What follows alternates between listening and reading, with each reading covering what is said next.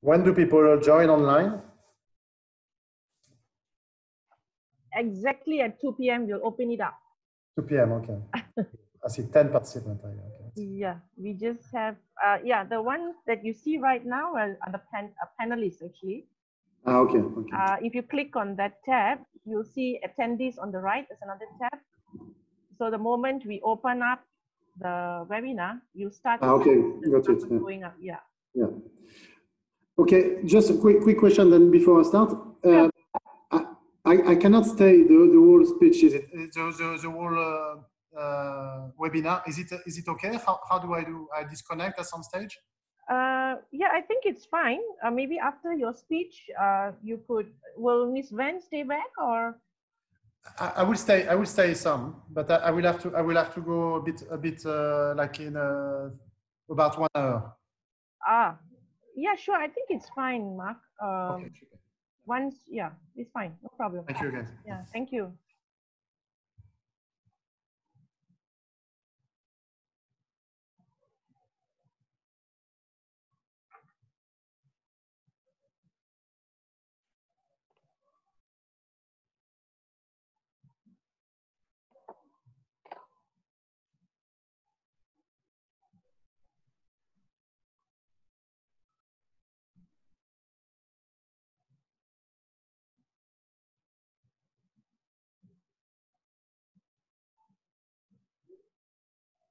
Think can because we are at uh, one more minute. Yeah, go ahead.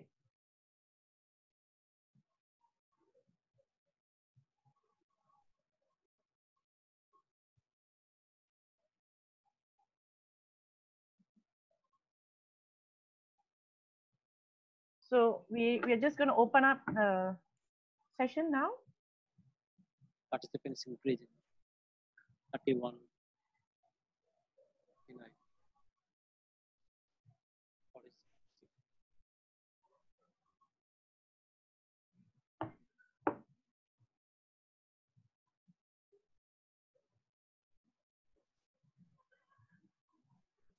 increasing.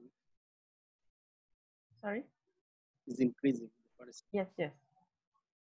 87. So, uh, yeah, we'll probably just wait a couple of seconds, a few, maybe a minute or so to have everyone come in.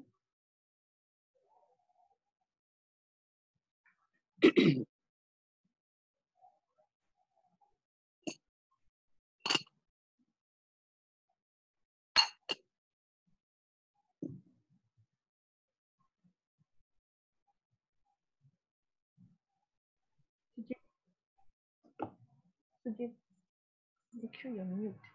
Mute. No, not me.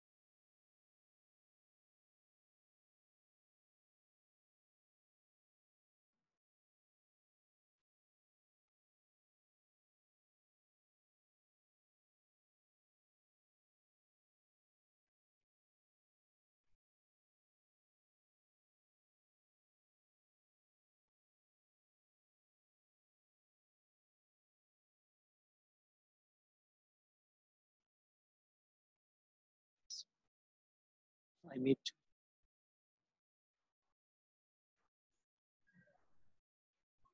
Hello, everyone. Good morning, good afternoon, good evening. uh, and welcome to InfoFish webinar series exclusively sponsored by Skretting. Um, today, we'll be discussing in length about uh, mariculture and the future of Asian aquaculture. Uh, as many of you may be aware, amidst this period of restriction movement lockdown since early this year, InfoFish has been organizing a series of webinars uh, specifically since April 2020 and uh, to address relevant issues and to keep the industry stakeholders updated and to continue uh, moving towards sustainable aquaculture production. Uh, according to uh, the recent FAO Sofia 2019 report, uh, Asia contributes close to 89% of global aquaculture production, whereas uh, the contribution of Asian mariculture in the total marine and coastal aquaculture is about 82%. Uh, this in itself tells you how um, significant and important uh, the uh, region is, uh, particularly uh, now that we're discussing mariculture. So there's uh, much of development that has been taking place uh, amidst this COVID situation and also specifically in the arena of mariculture. And we hope that today we'll be talking in length and also uh, learning more about what those developments are and have been. So we have a diverse panelist, a group of team of panelists today who have experience in this area. And we'll be discussing the present status, the prospects of mariculture, integration, importance of formulated feed, um, and the role of uh, artificial intelligence, the IoT technology, um, environmental risk management uh, for sustainability in uh, of Asian aquaculture. So uh, it gives me great pleasure to introduce to you uh, uh, the, the, the, team of panelists today, Mr. Sean Lan, uh, who is a marine aquaculture specialist with the Soybean Export Council. Mr. Sean Lan is areas of expertise includes ocean cage farming, fish nutrition, fish formulation, and marine fish disease diagnosis. Uh, Mr. Sean Lan uh, obtained his master's degree from Auburn University, U USA, and has a bachelor's degree from the National Pingtung University of Science and Technology, Taiwan. Uh, he also accomplished an AquaMed certification from uh, the Louisiana State University, USA. Uh, we also have with us Dr. Tipparat Pongthanapanich, who is an aquaculture officer overseeing FAO Regional Office for Asia and Pacific in Bangkok.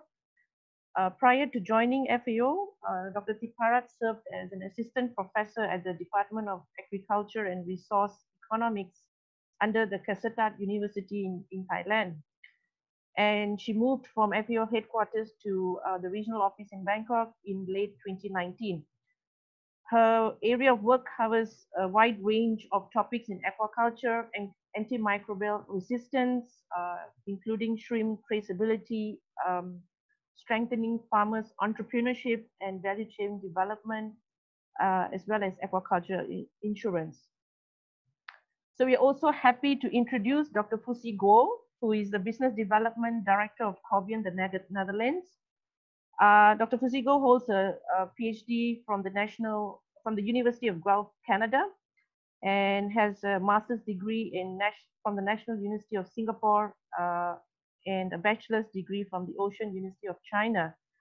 Uh, Dr. Go has been working in the field of aquaculture and nutrition for more than 25 years and uh, with leading global multinationals uh, such as DSM, Alltech, Novartis, Bayer, and Roche. At Corbion, Dr. Fusi is responsible for developing new businesses of AlgaPrime DHA or marine fish and shrimp. And he also coordinates the research initiatives and projects, uh, formulating market entry strategies, including product solutions, channels, and uh, competitor analysis for Corbion. Um, and we're also happy to introduce Ms. Joyce Liu, who is uh, with um, Singapore-based Japanese aquaculture startup company Umitron. Uh, Ms. Joyce uh, studied the marine science from the University of Tasmania, Australia, and prior to returning to Singapore, She played a number of roles ranging from animal presentation to conservation, education, and outreach. So very, very impressive uh, panelists we have with extensive experience in this area of mariculture. Um, my name is Shalene Maria Anthony-Sami. I'm uh, representing Infofish. I work as the director at the organization and I'm happy to be part of this or be introducing to you this uh, elite team of panelists.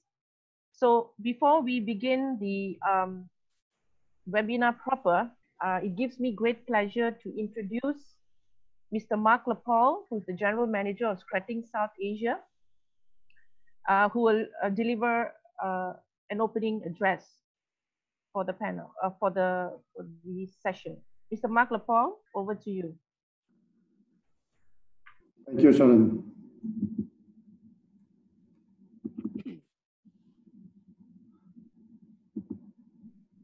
All right. So good, good afternoon to all the attendees in, in Asia. Good morning, eventually, if you are in Europe at the moment, or, and good night for, for, for others. So my name is Mark Lepoul, so responsible indeed for uh, the activities of Skretting uh, in Asia. I've been, uh, I've been in Asia for, for, the last 20 years, and I'm uh, talking today from uh, Ho Chi Minh City, Vietnam. So we are very, at Skretting uh, we are very, very proud to, to partner with this uh, initiative today. Huh? So uh, as, a, uh, as a global aquafeed manufacturer, we believe a lot about, uh, about the potential of Asia, you know, obviously in, in, in mariculture, in marine fish farming development and and I will just take the quick opportunity to, to let you know a bit more about ourselves, about what, uh, what we do at Skretting in Asia and who we are. So Skretting is a, a global company, a global aquafeed uh, manufacturer uh, with uh, more than 2 million tons of uh, aquafeed manufacture per year and a presence uh, globally. and, and we are in Asia for quite some time, having having some operation in the south of uh, Japan, in the south of China, in Vietnam, uh, in India as well, in Gujarat, and we are as well present in, uh, in Tasmania. so, so those are the, the, the, the operation that I would say the, the closest to, uh, to our topic today. And uh, what we what we call as our mission as a, as a feed company is to be feeding the future. Basically, uh, uh, tackling other challenge of, of, uh, of being able to feed in a responsible way uh, the, the, the worldwide population, which is growing fast. Skretting is uh, organized around four pillars, uh, four pillars that are very important and part of our identity, uh, research and development. we are probably the, the company that has been investing most in, in aquaculture, nutrition over the past 40 years. Uh, fit to food quality, uh, something which is very, very important to us as well. Sustainability commitments, and we try to, to help uh, operation by developing new services adapted to, to the new challenges of, of farming in general. So when it comes to, uh, to R&D, uh, we have a company called ARC, which stands for Aquaculture Research Center, which has been uh, working around uh, uh, fish and shrimp nutrition for the last uh, 30 years. main settlement is in Norway, but we have as well operation in other parts of the world. more than 100 employees from many nationalities, a lot of Asian colleagues actually, more and more Asian colleagues, I would say. Um, 40 researchers at the moment, more than 20 PhDs, a lot of collaboration all around the world and we have uh, not nine on this slide, but actually 10 key species we are working on uh, very, very specifically. The last one uh, being barramundi, which is a, a new new species of strong interest for, for Skretting and for, and for the topic probably today as well. So this is a bit of a, of a, of a, of a map where you can, we can see as well our operation in terms of, of research. Huh? So, so we have activities in Japan, working around tuna and yellowtail uh, nutrition. We have operation in, uh, in the south of China, as, as I said earlier. Uh, some probably new investment to come in Singapore as well. So So you see, we have a, we are not only a, a Norwegian uh, salmonid company, but very much a, a worldwide uh, global player looking at adding value on any kind of uh, fish and shrimp species around. So yes, feeding more than 60 species already when we did. We're very proud about this, uh, this uh, specific uh, know-how of the company. Uh, we work on all stages uh, of aquaculture, uh, from broodstock diets to obviously grower feed, transfer diets for salmonid especially, juveniles and hatchery feed. We work around a lot of different certification. requirements can be very, very specific from one country to the other one. We work around the health as well, which is a very important uh, topic for, for us and for, for, the, for the industry in general. A supportive diet, but as well medicated feed in the country where it is allowed, of course. Um, in terms of development, we're very proud about having a pioneer in uh, reducing the, the usage of, uh, of fish meal in carnivorous diets. Uh, taking here the example of salmon, uh, which uh, we used almost 25, 30% fish meal uh, uh, 20 years ago. Uh, no, 15 years ago, actually. And now we are able to manufacture uh, uh, salmon feed without the usage of any fish meal and either uh, fish oil.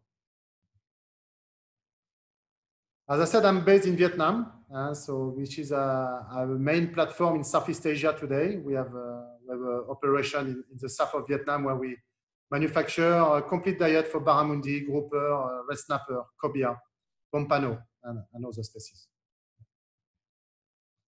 Uh, as I said, we, we work around health and we have those, uh, those specifically uh, enhancing uh, health diets, functional feed as we, we like to call it working around the different different problems, health problems you can find in in shrimp, in marine fish, salmonid, tilapia as well. As I said a bit earlier, feed to food quality uh, and uh, is very important for us as well. And so, so we we pay a lot of attention to ingredient uh, procurement. Uh, we having a very strong uh, uh, collaboration with our suppliers. Uh, monitoring is very important as well in terms of quality insurance, quality control. And we do trace. Uh, tra traceability and tracking is, uh, is, is key, is a key inside our operations. Sustainability engagement. Uh, we are a North European company having very, very strong engagement towards sustainability.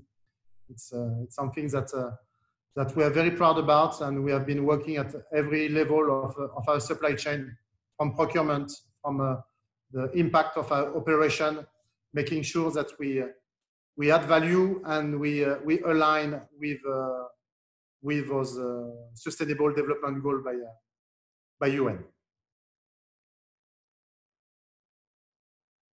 I said earlier, uh, farming is, is coming to, to more and more uh, technology, and we, we try, of course, to, to make sure that uh, end users, farmers are coping with those uh, technology uh, uh, challenges and, and get the best of the solution we can provide.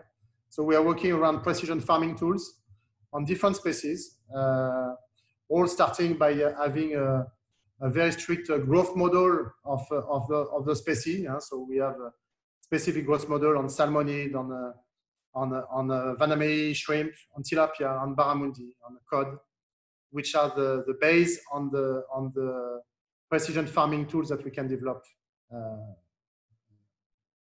beside. Yeah.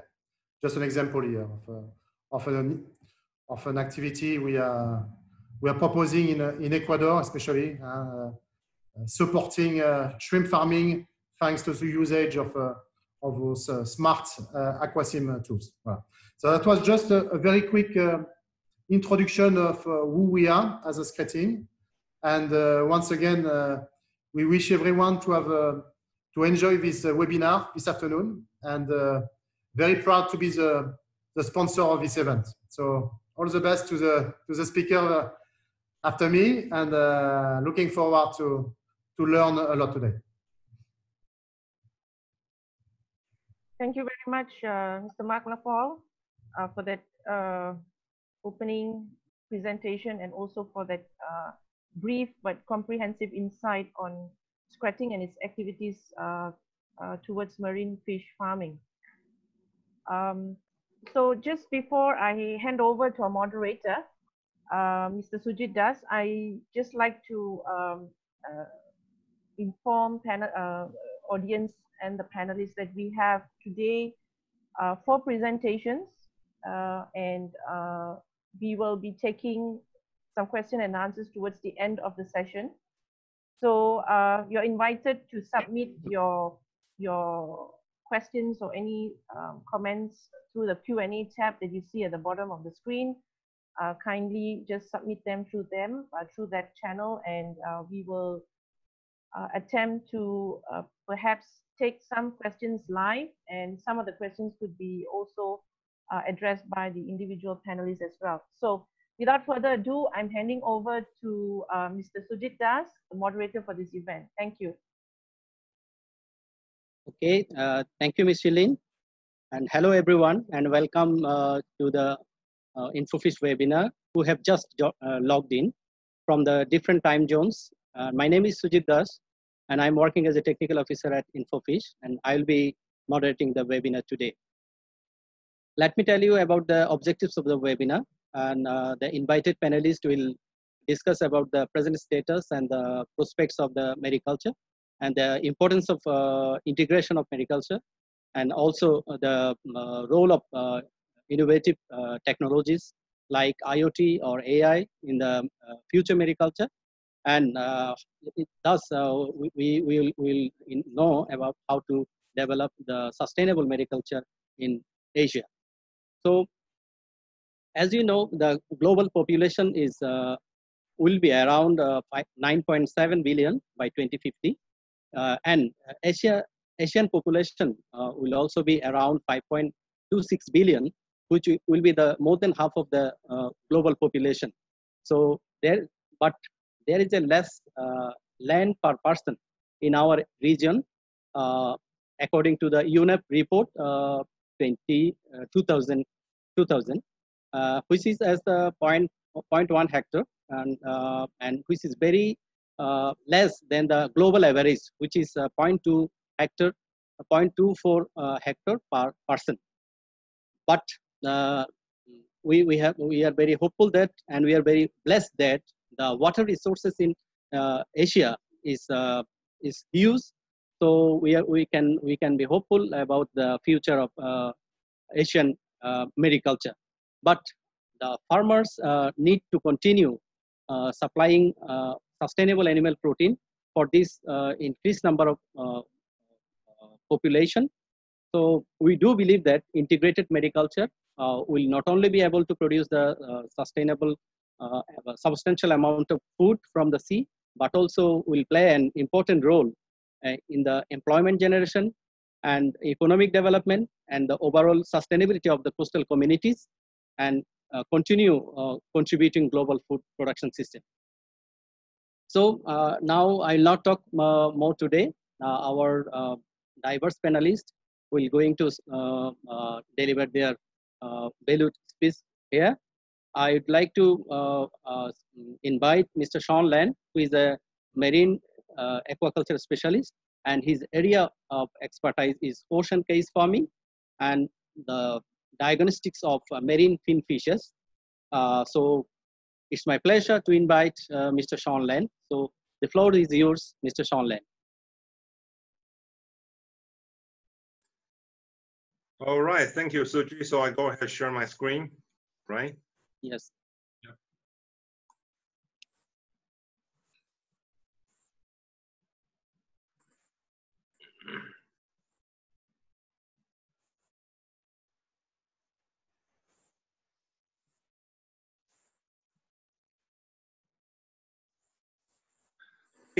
So welcome to the webinar. Good morning, good afternoon, and also good evening for the people who are based in America.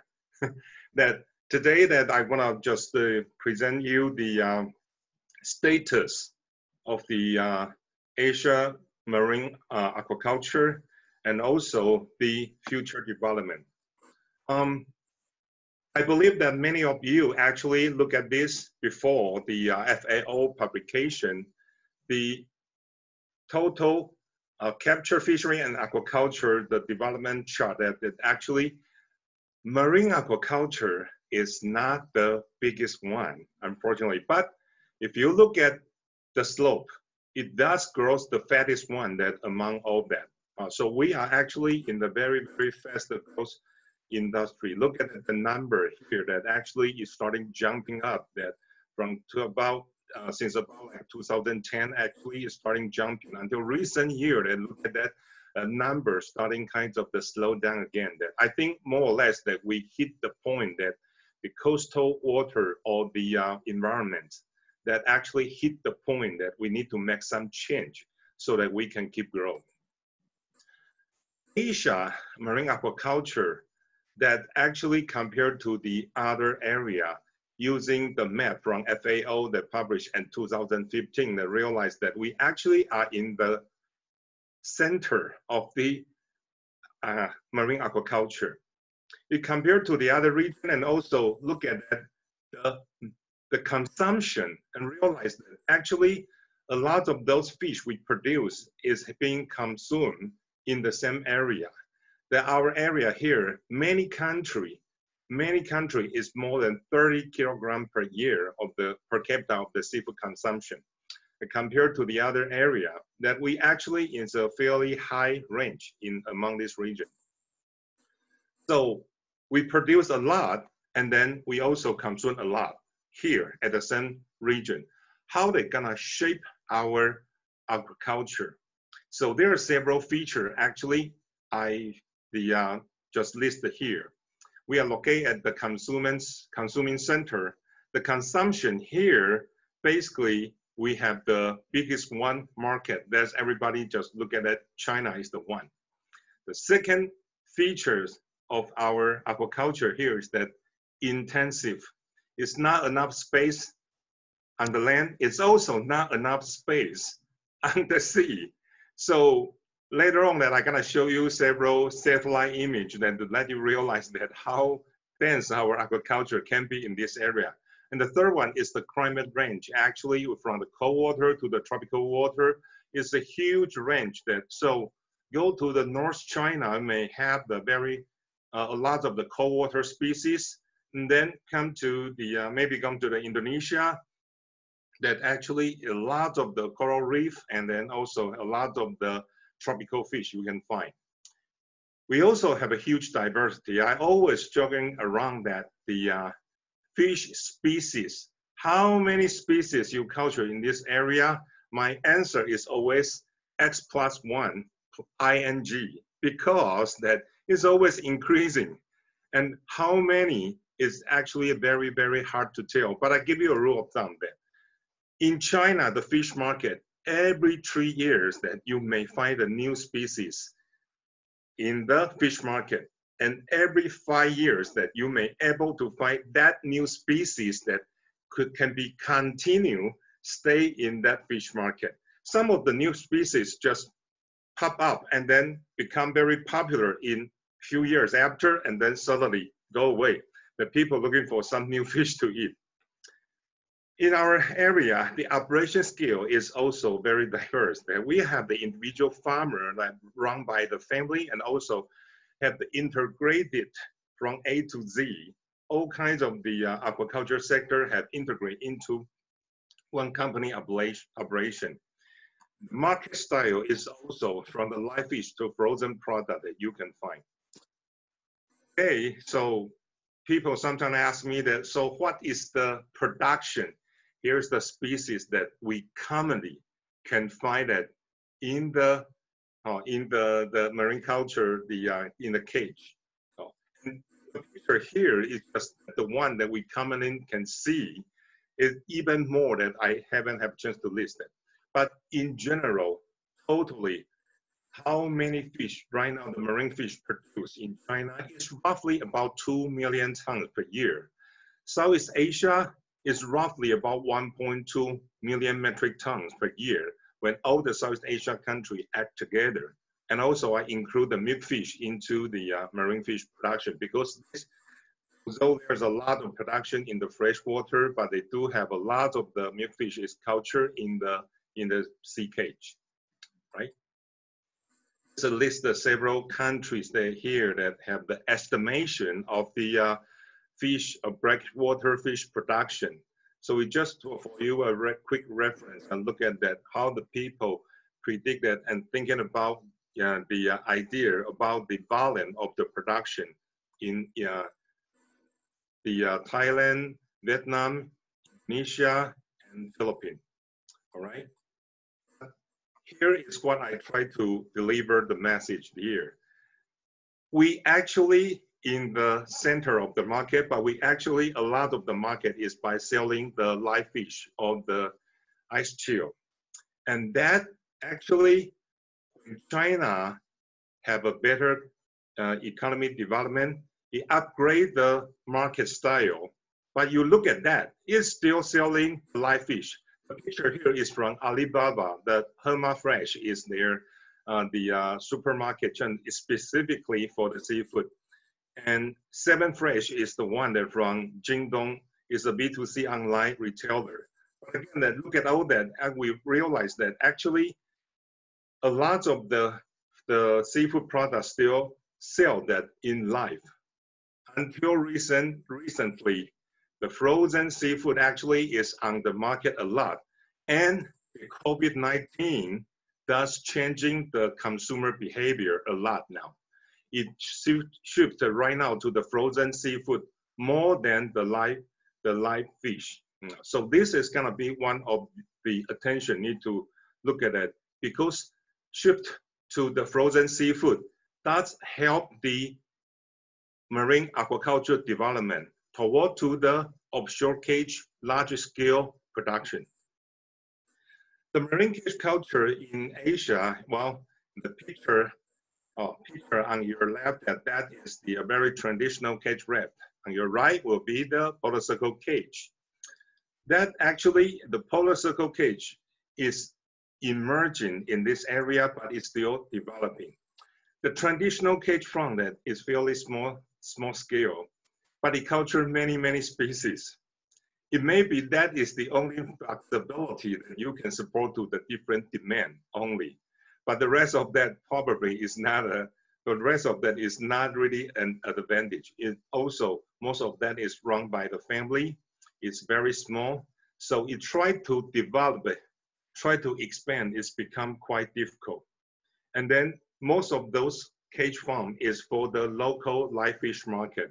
If you're talking about the fighter coming here and then say my processing plant need about 20 tons of fish, this is not the place that you're really going to see, right? And uh, I, my opinion that it probably won't go away that soon. However, it can be a live car to be the hub for the live fish to support to the uh, sale to the like a local restaurant. Oh, that can be a very handy uh, the uh, facilities that managing. Open Ocean Cage Farm, the Polar Circle Cage Farm, this is I took in Vietnam. Asia, I have to say that is still under developing and still developing, and we are still in the learning stage the local investment and the foreign investment actually comes out a very, very different scale and also the technology. Usually the foreign investment from the Western country, we don't need to worry too much about that. However, when I go to a lot of the local cage fund that, oh, a lot of the technology critical point have been cut corner. More insistent, whatever you can find that almost every critical point is the problem and also in Asia, it doesn't have that much supportive industry, or not like the mm, Turkey. They even have the company who are only doing the net, changing net and maintain your net for you. Here, pretty much that you run the offshore cage farm, you need to do everything by yourself. Here is one thing is very critical that we say that offshore cage in Asia is that is the game with the traditional cage operation mindset because we sometimes see that a lot of the polar circle cage, but the setup is still similar to the traditional farm. Because we usually see a lot the overloaded cage aquaculture in the bay, and then we don't have enough knowledge to the offshore site and where to be the uh, good place for aquaculture. And sometimes even I see that they put the fish in the offshore cage that but he's still feeding the trash fish. It's actually a big problem because scale is getting bigger now. So look at that. The and the other issues that can be from the hatchery, from the feeding, and the sustainability. So all that I won't be able to address in detail, but I show you some picture of what we find that in the industry. This, I believe that many of you that if you attend the our seminar before that you see I using this Google image, satellite image at 2009 that I take a shot from the uh, North Fujian province to know that it's very, very dense of the traditional cage together. Um, I was quite frustrated, but I also have the chance to tell the local governments so many years after that this is the picture at 2020 now. It does change that actually have the uh, still have the uh, traditional cage farm, but density is not that high anymore. Besides that, we do see the seafood, the seaweed raft along the traditional cage farm. That is the good sign. Although it's not perfect yet. However, when I see this, I know that at least people who are using the sea is improving by changing the practice so that the environment can be recovered a little bit. Other thing is that the trying to set up the offshore cage farm actually is not that easy and simple. It's more complicated, require the authority need to do the zoning licensing and also knowing the carrying capacity of the sea also after we put the cage to the water, how much impact to the local environment.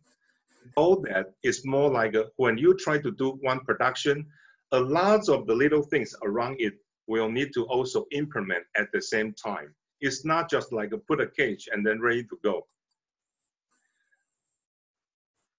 The ocean cage, offshore cage consideration that usually when I put the cage in the sea, how deep the water, how fast the water current, how high the wave, that some other consideration. And also the other operation is the labor. Do I have the people here know how to operate that? Do you have equipment, devices, supply? And the last one is the economical consideration. And that's most of the time when I travel in Southeast Asia, I found the problem the biggest one. The funny thing is that the good water, the very good water with all the technically correct factors area have perfect. However, it's just too far away from anything else. It's too far away from anything else, making a difficulty to shipping the feed to the place and also shipping the fish to the other place. Uh, so those is not only the water need to be good, but also the infrastructure also be able to follow up to catch the opportunity to develop. This is just one of the picture uh, in Southeast Asia. You will see a lot of the kind of the circle cut. That, that actually is the circle cage. It's this kind of the density. So that's why that I usually come here and then look at that. Is that is using the polar circle cage, but is with the traditional cage uh, mindset operation. So, well, need to be some change in the future. Trash fish is the problem that we usually see a lot that still the farmer using this for very high value, very high value fish and causing this disease. However, many technology right now actually are affordable in comparison to the technology years ago. The picture, what you see here, microchips into the brooder fish. Well, this is the microchip here. And then I also take the fin plate to do the DNA analysis. And the, this is the recirculation system to keep those brooder in these facilities. That by doing that, I am able to identify the family is the establishing genetic tree for the breeding reference. So actually those molecular technology years ago, you can spend you a lot of money, but now it's not. It actually costs you several thousand dollars. However, immediately you will know that how to implement your breeding program with the scientific rule.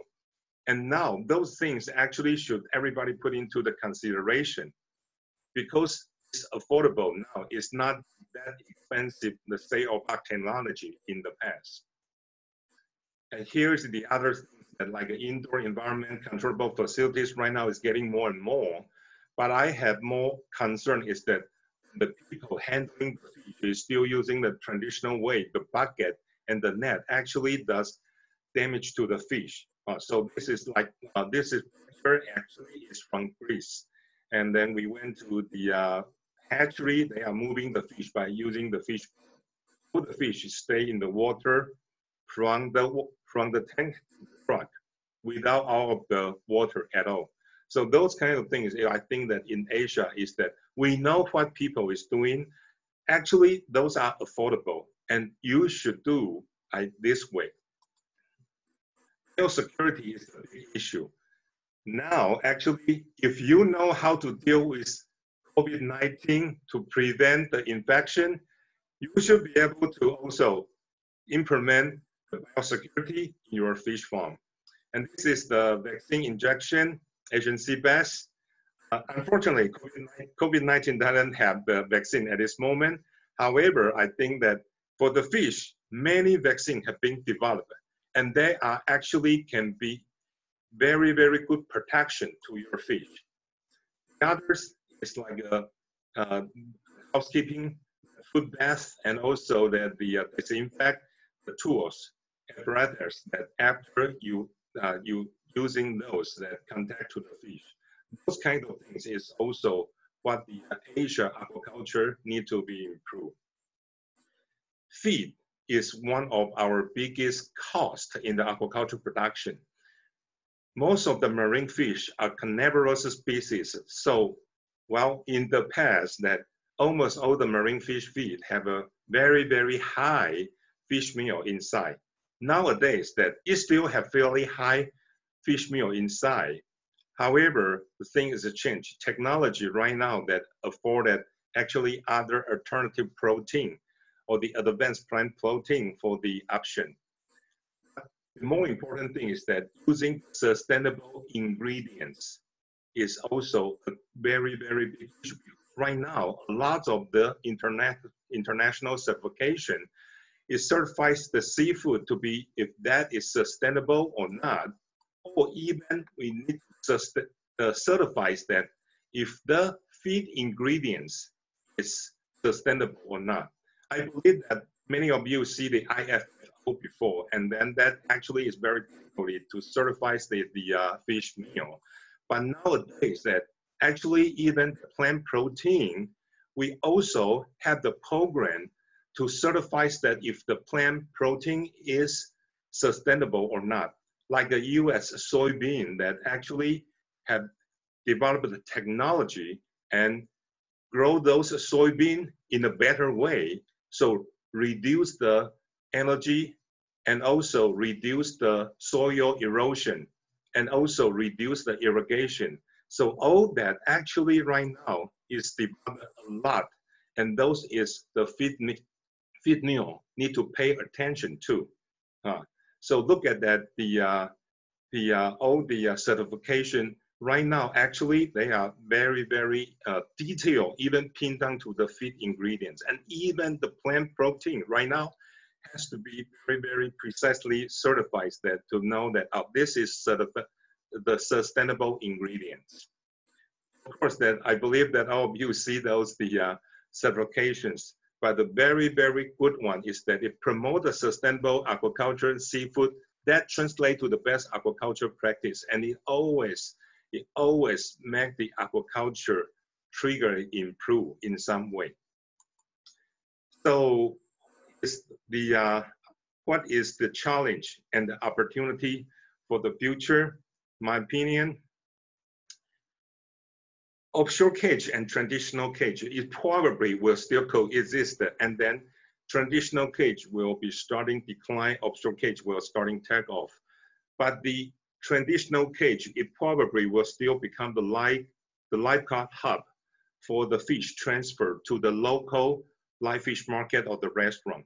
Oh, but in the future, that frozen seafood gonna be the very, very big jump to promote the offshore cage development. And the other thing is that new technology, especially for the feed and the feeding. But here I list the feeding example, like uh, using the acoustic system for the shrimp feeding and using the uh, using the image recognition system for the fish feeding. So right now, actually, a lot of those is not only by the human judgment to know that should I feed more or not. Right now, actually, a lot of the the uh, new technology can help human to decide that if the the animal should be get more food or not, and that actually will be dramatically reduce the FCR. Uh, but the, at this moment, most of the feeding still done by the uh, human, the people observation. Certification will be the entry basic requirement for establishing the aquaculture the operation in the future. Right now, I know a lot of the integrated aquaculture operation take the certification as the value add to be able to go into the major logistic channel. However, I believe that that one day will become, you want to run the aquaculture, this is what you need to do at least.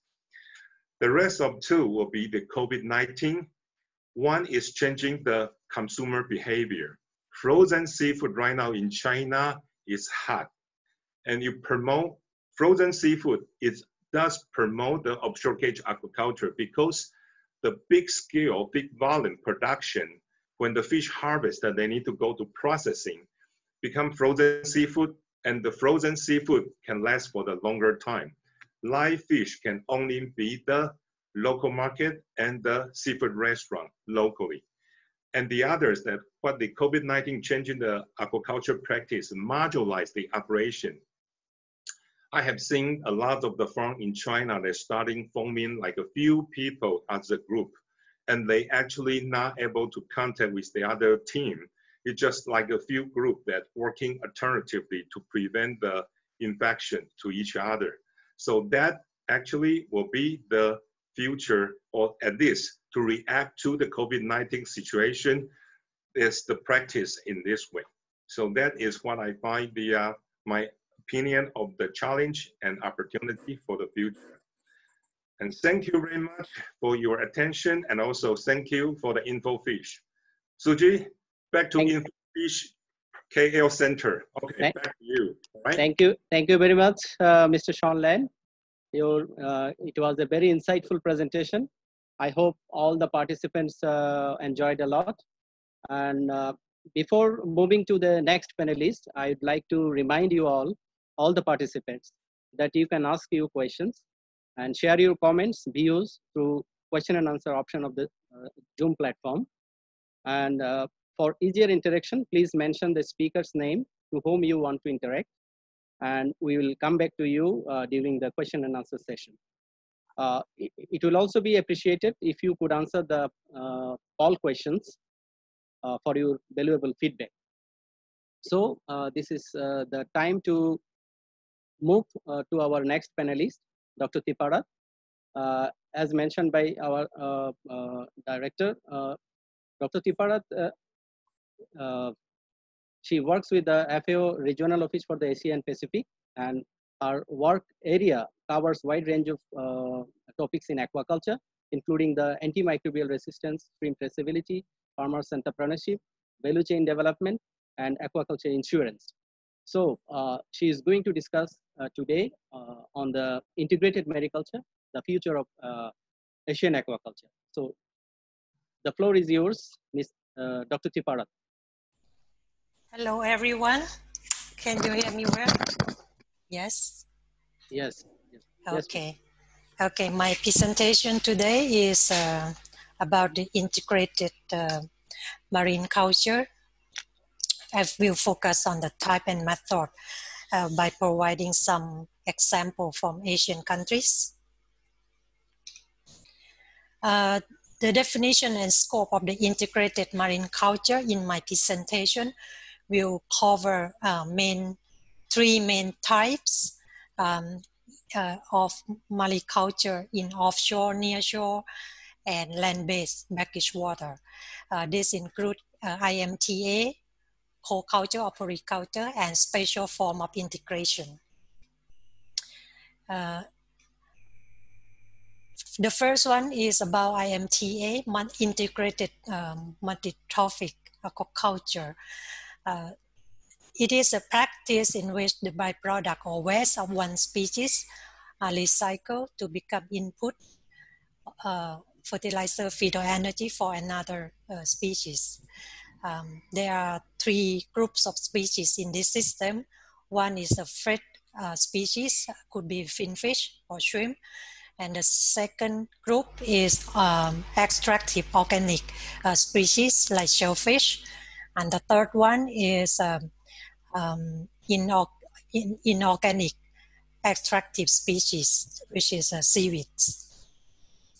The goal of uh, IMTA is to achieve, mainly is to achieve environmental uh, sustainability to um, biomitigation.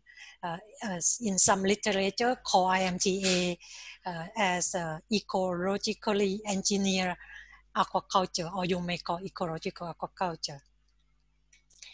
In China, uh, IMTA has been uh, practices for many decades with uh, many, many species farmed in close proximity to each other, uh, but we can make it uh, conceptualize it into two main groups. Uh, first is su suspended multi-species aquaculture in shallow waters, and the other one is multi-species large-scale marine ranching in, in the sea. Um, um, for the nearshore IMTA, we found a case in um, uh, Shang, Shango Bay, my, maybe not correct uh, reading of this name, Shango Bay. Um, the entire bay is for aquaculture, and then they uh, spare one piece of land for IMTA and monoculture of uh, each species around the IMTA, like uh, fish cake uh, culture, seaweed, uh, oyster, and uh, scallops. Um, large-scale MTA of scallop, um, oyster, and carp in Shango Bay also uh, uh, operated there. Mm. In one of the article, they try to um, conceptualize the models of um, IMT in this bay, they found that there are three main models. Uh, first is a longline culture of abalone and kelp. And the second one, culture of finfish, bivalve, and carp. Since uh, are species, like I said, there are three main groups, they fit in different levels. So they're a good complement of species. And the third one, more with the benthic species like a sea cucumber add to the system.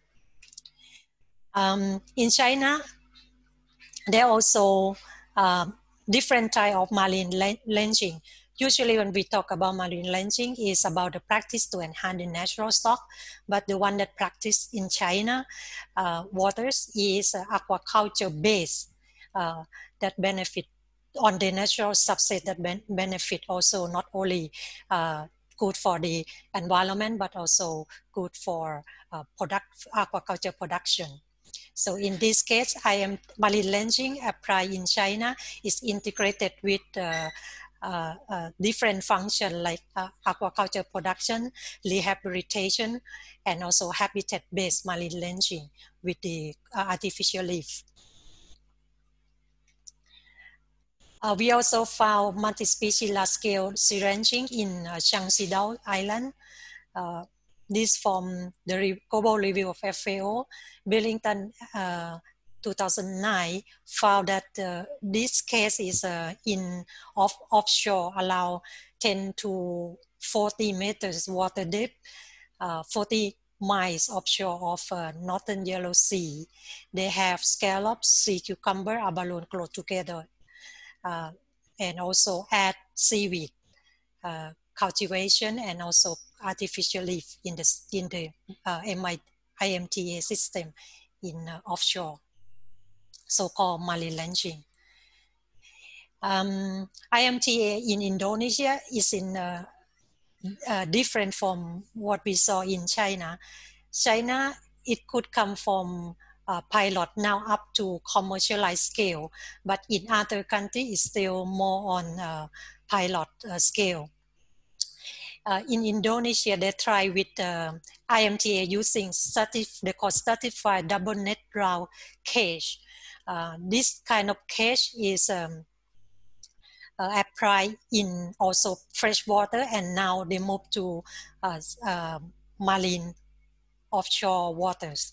Uh, we found this in in Jakarta, not north of Jakarta waters to increase uh, production capacity. There are two layers. Uh, they grow so many species in there.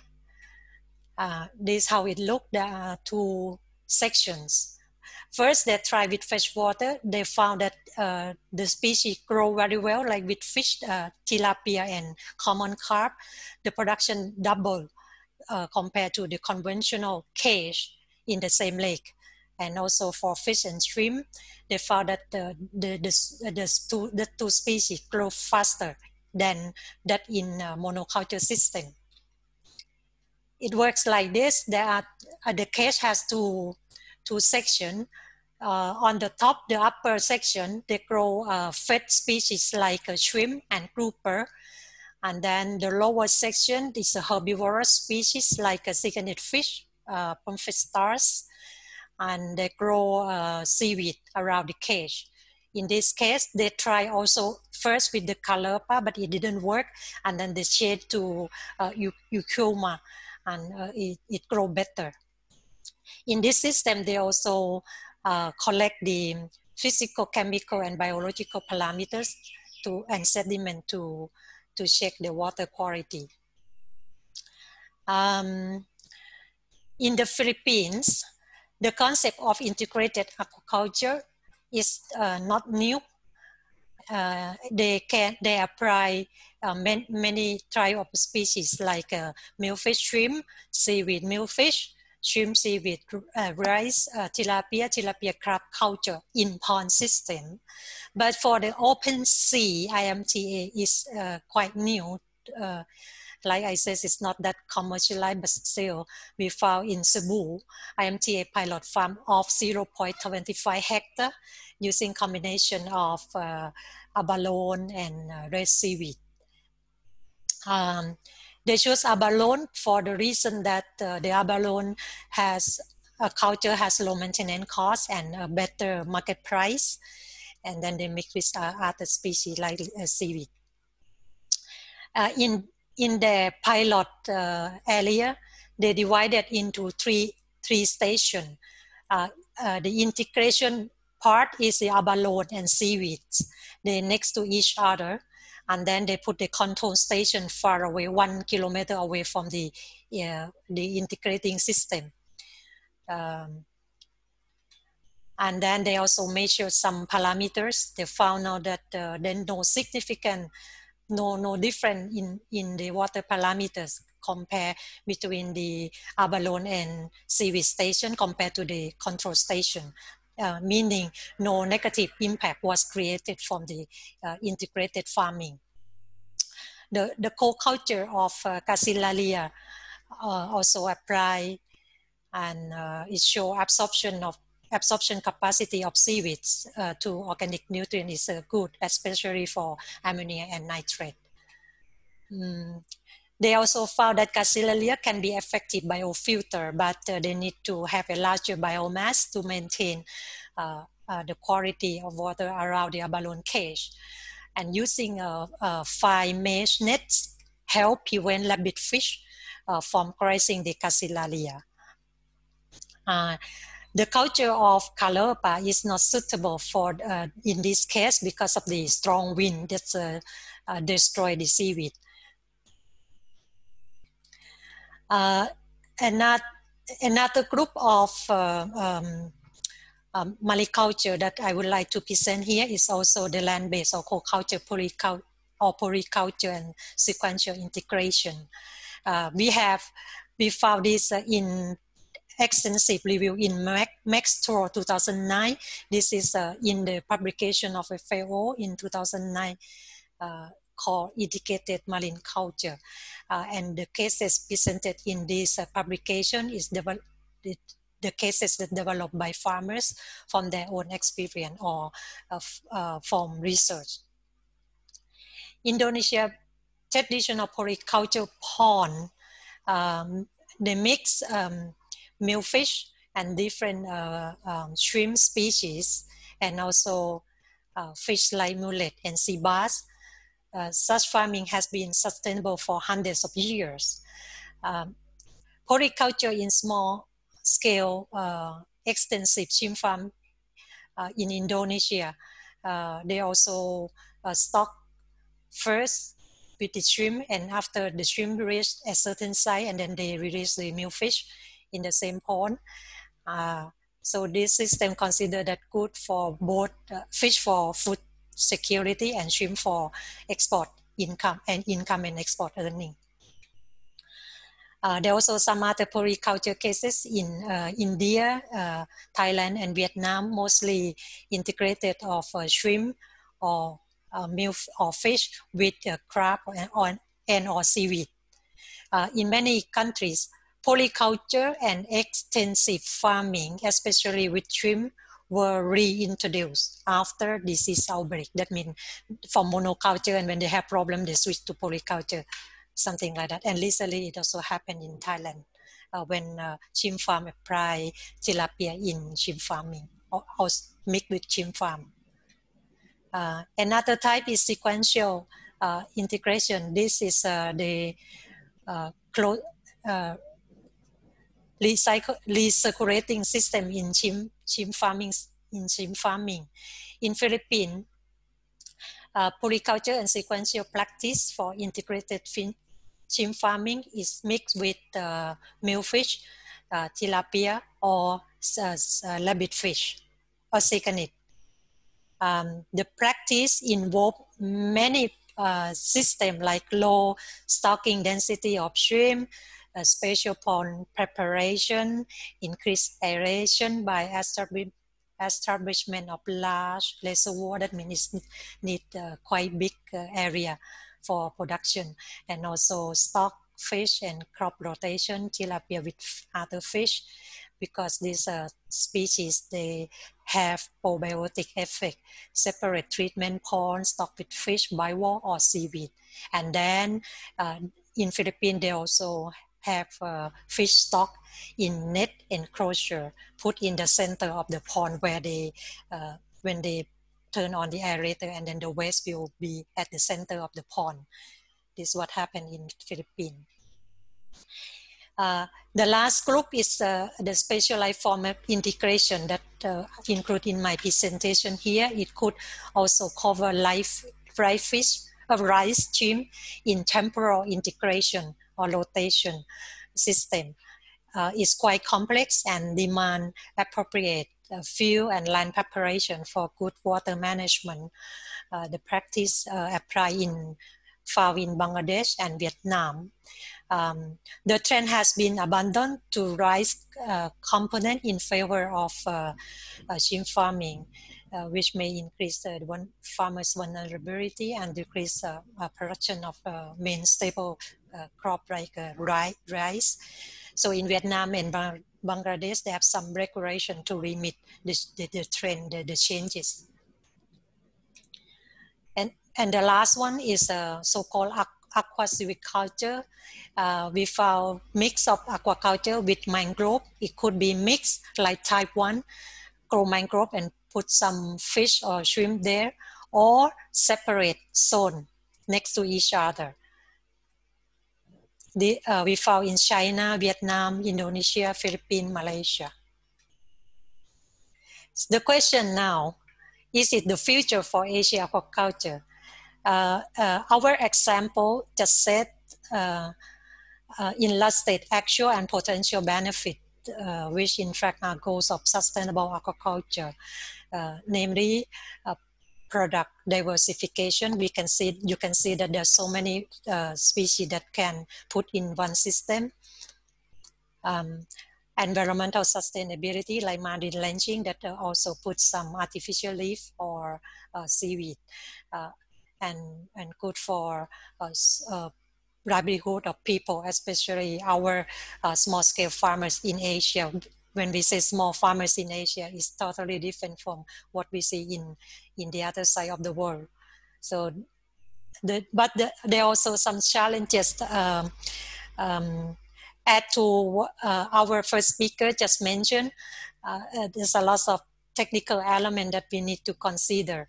Uh, but for the integration, even more that we need to talk about, like uh, um, uh, Max Stoll um, used to mention that no universal integrated system exists when we talk about integrated mariculture um, choice of technology and species is different from uh, by region and then also socioeconomic uh, condition. Um, there were suggested that uh, um, need to choose the right species, like uh, use local species within the norm, normal geographical uh, range and for which technology is available. And then uh, the species that can complement each other, uh, especially the IMTA that can fit uh, along the uh, multi-trophic level. Use species that can grow in significant biomass, as especially the species that act as a biofilter, and use the species that, of course, have uh, you can sell and have market and good price. You can see that uh, they not only IMT always put one main species with high uh, a good price like a shrimp or a grouper abalone, something like that. Site-specific integrated practices need to be implemented in wider ecosystem uh, following uh, ecosystem approach.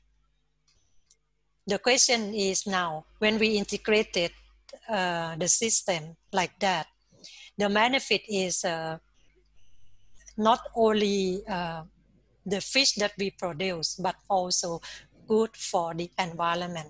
That's why how do we uh, include this kind of benefit into the products? That's that's uh, is something that we need to think. Um, product dif- differentiation from this system that need to be de- developed uh, in in some ways.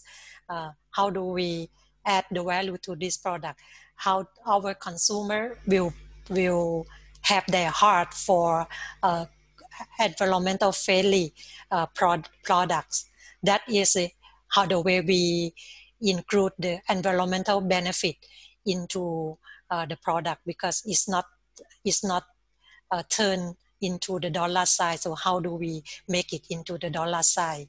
So something to do with the marketing of the product.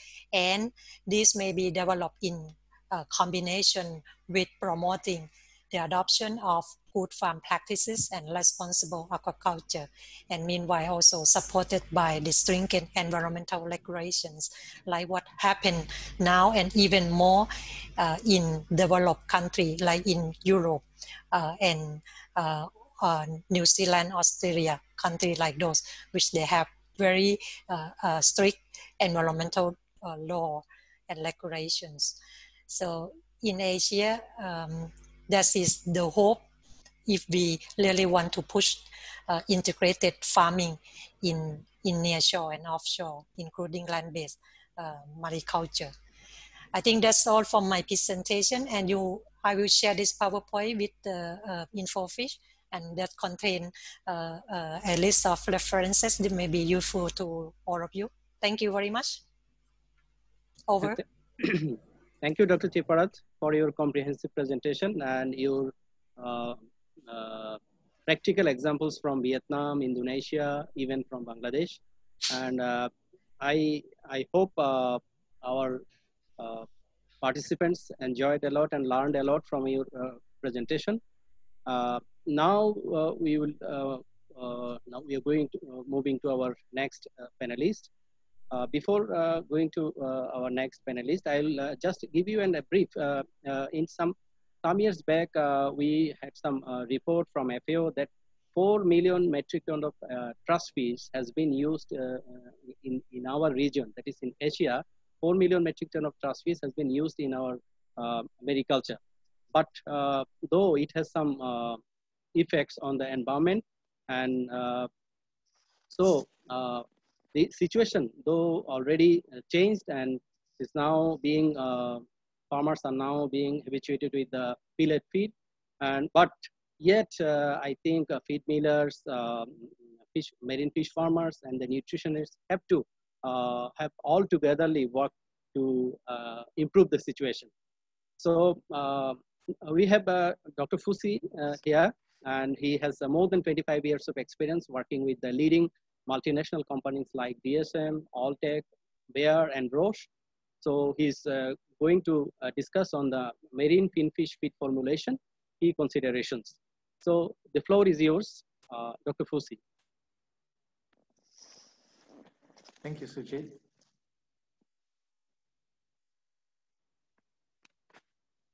I'll go ahead to share my screen.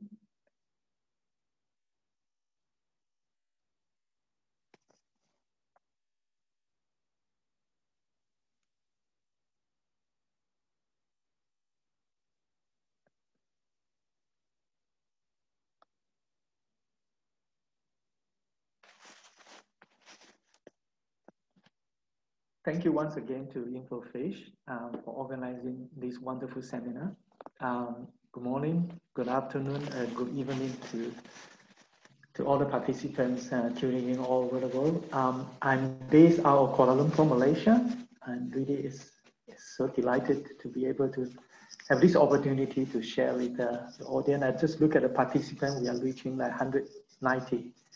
So that's wonderful. Um, I was given the topic um, by Sujin to talk about um, marine fin feed uh, formulation uh, key consideration. Um, currently, I'm with uh, Corbion, a Dutch company for close to two years right now. I'm developing business for uh, uh, algae ingredient called AlgaPrime DHA. So um, very briefly, um, just spending maybe only uh, one minute to briefly introduce who uh, what is who is Corbion. Uh, Corbion, um, we have three division in the company. Um, the, the food division, we call it sustainable food, and the lactic acid division, and the incubator division. Uh, I'm, I'm in the incubator division.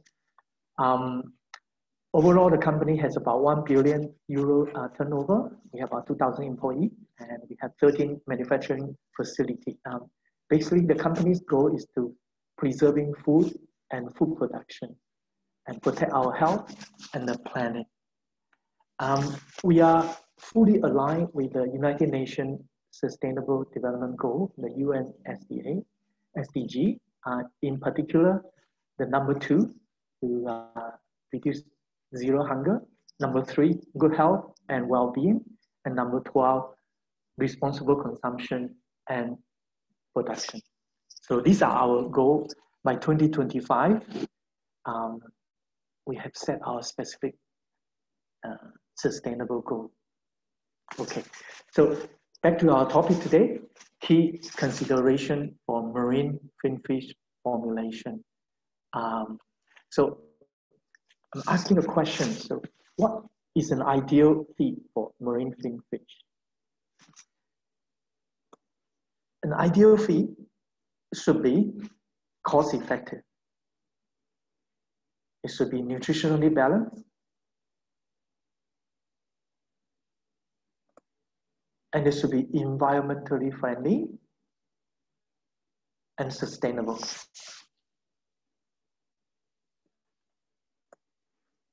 It should have high performance. And at last, the end product should be safe and the quality of the fish flesh should be high. So I'm going to go through each one of them. Cost effective. the feed has to be cost effective. Um,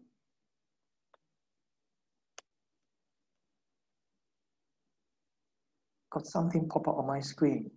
Okay, all right. Everybody hear me okay? Okay. Okay. Right.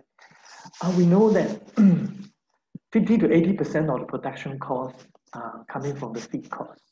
And uh, so um, to reduce feed costs or to manage feed costs, you will manage your production costs. So as uh, Sujindas mentioned early on, there are 4 million tons of uh, trash fish are used in, in Asia, Southeast Asia. Um, it's very popular for trash fish, um, but let's look at the nutritional profile of trash fish. Um, say, for instance, uh, anchovy or ponyfish. The carbohydrate level of anchovy is less than less than one percent. The protein level is range from 14 to 20 percent. The big majority in the trash fish is actually water, but the moisture contents or close to 80%. Relative to that, compared to, sorry about that, compared to formulated feed, um, just simply pick three um, formulation feed, look at their nutritional profile. The typical carbohydrate level is from 15 to 20%, protein level from 22 to up to 50% and moisture level, wow, around 10%.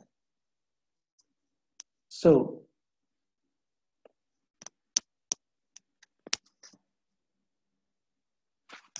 why there are 4 million tons of trash fish used? Because people think that the unit cost is low.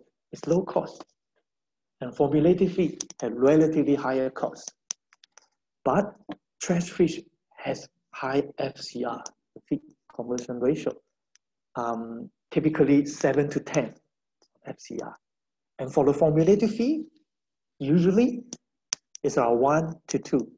And for bass, in this part of the world, 1.5, and some can even go down to 1.2, 1.1. Yeah. So for trash fish, they are also uh, it's also variable in quality and quantity because they're seasonal supply. It has a very short shelf life you need to put it uh, in, uh, in refrigerator to keep it cool. Otherwise, spoil very easily. And they pollute the water. But the most important is they could be a disease factors because the trash fish is actually not being processed, not being cooked.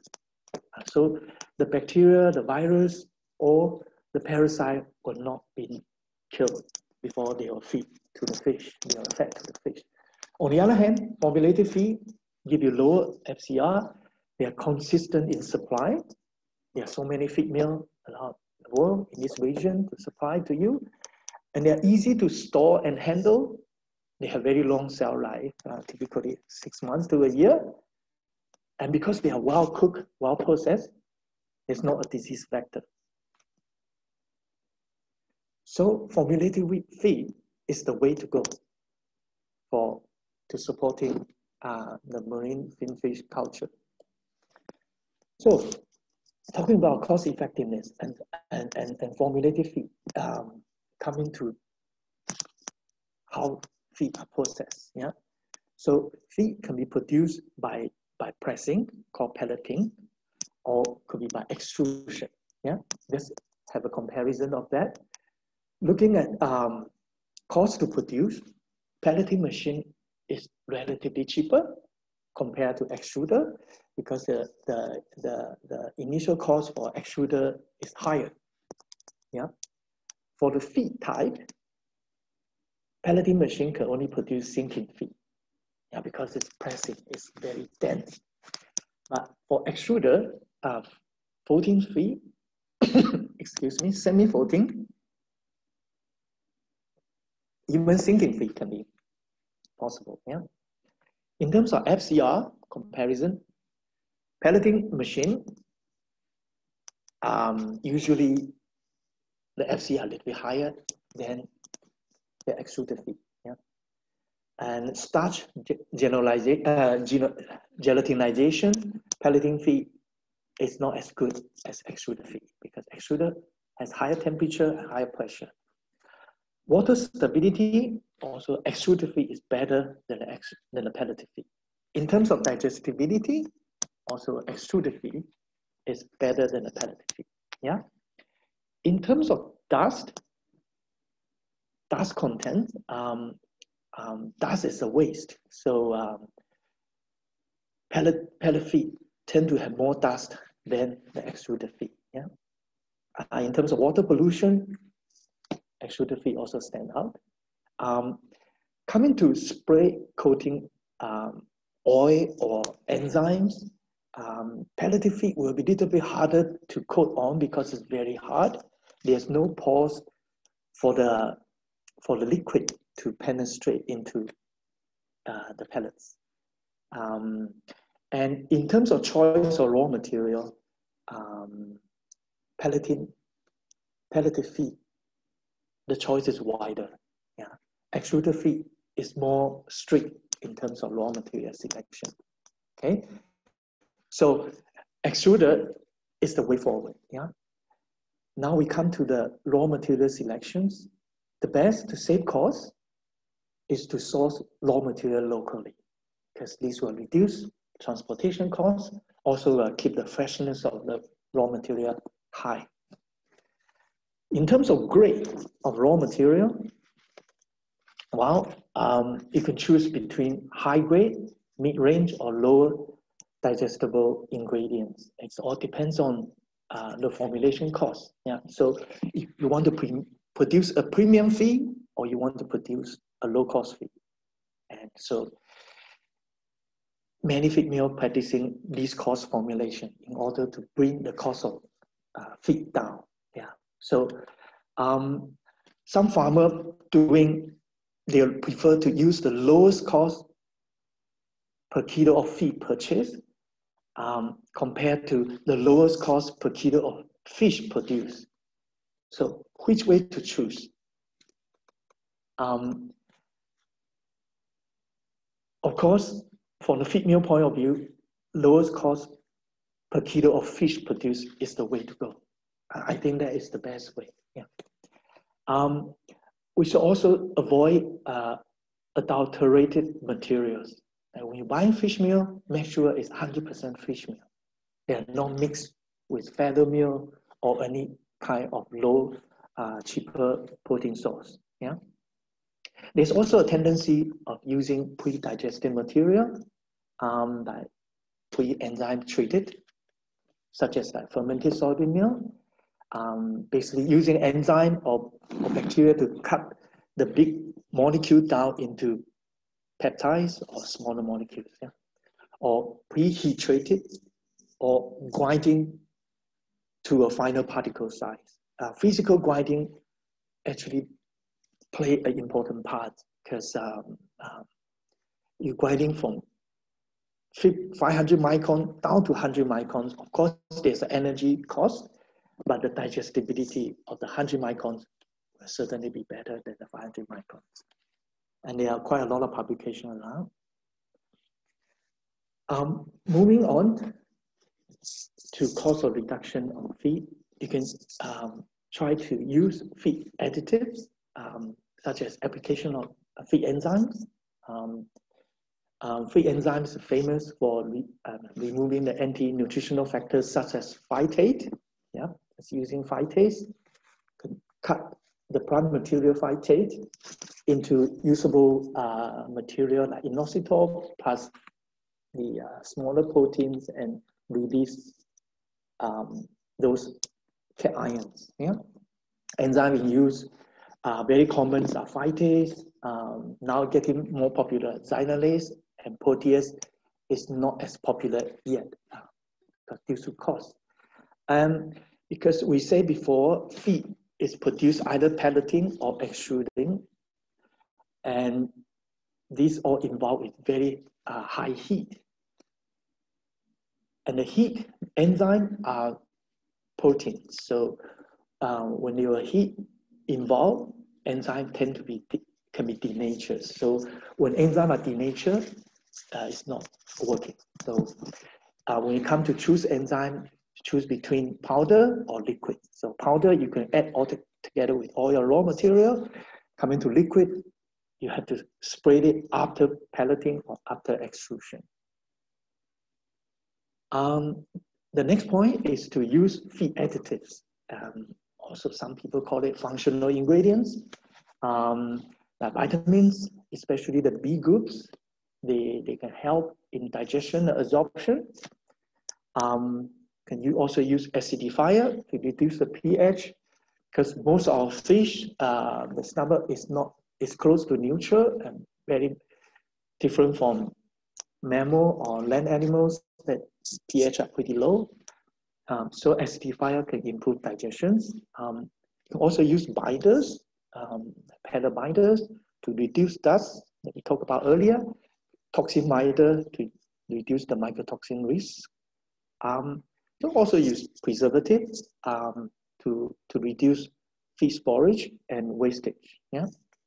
The last point is not so much related to uh, feed formulation, is to, to manage your, your, your, your feeding. Yeah, you can feed less using AI, which our next speaker will talk about. Um, auto feeders, uh, which very popular in salmon farming as well as in shrimp farming. And we also can feed in alternative. Okay, um, I'm spending a little bit more time on the cost effectiveness. Now we move on to nutritionally balanced. Okay, um, different species of fish and different life stages life stages of fish have a specific functional nutritional needs and uh, formulated feed contain many ingredients from marine plants or land animal source. So these ingredients provide nutrients like protein and amino acid, fat and fatty acid, vitamin and minerals. So these nutrients need to be balanced for each species of fish. Yeah, I'm putting the chart here, looking at the barrel theory. Yeah, it's just um, taking using amino acid or uh, uh, trace mineral as examples. Yeah, so the have to figure out what is the limiting amino acid or what is the limiting nutrients what is the limiting uh, uh, trace minerals and formulate it in a balanced way. Okay, there are over 200 species of uh, of uh, uh, fish being farmed in this part of the world.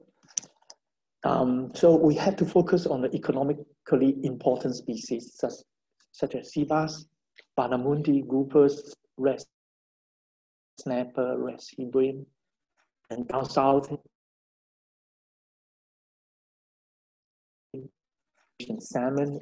So nutritionists and formulators need to have a good understanding of nutritional requirement of the species that uh, that you're going to produce fish for. So, and then you can formulate the feed according, uh, according to the species, according to the life stages, according to the cultural method, either intensive or extensive, according to the cultural method of whether it's in pond culture, net pen, or in cage culture. Okay. Move on to the third point. The feed, ideal feed has to be environmentally friendly and sustainable. Um, Sean, our early speaker, has a better picture than mine. So um, environmental friendly. We have to make sure we minimize pollution to the ocean, to the river, and to the estuaries. Yeah, definitely no antibiotics should be formulated in the aquafeed unless it's permitted to use. You have the veterinarian uh, permission prescribed by, by the vet. Otherwise, antibiotic antibiotics should be no-no in a fish feed. Yeah. Moving on to sustainable ingredients. Talking about fish meal and fish oil.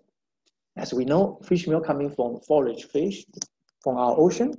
And here the chart shows that for to produce 24 tons of fish meal, you need about 100 tons of, of, forage fish, or we call trash fish. And uh, and 100 tons of forage fish can produce about 5 metric tons of fish oil. And where do this fish meal fish oil use? more than 70% of the fish meal go to aquaculture use. 73% of fish oil go to um, feeding fish or shrimp. Um, you have seen this chart early on um, from earlier speakers. Um, this is from FAO.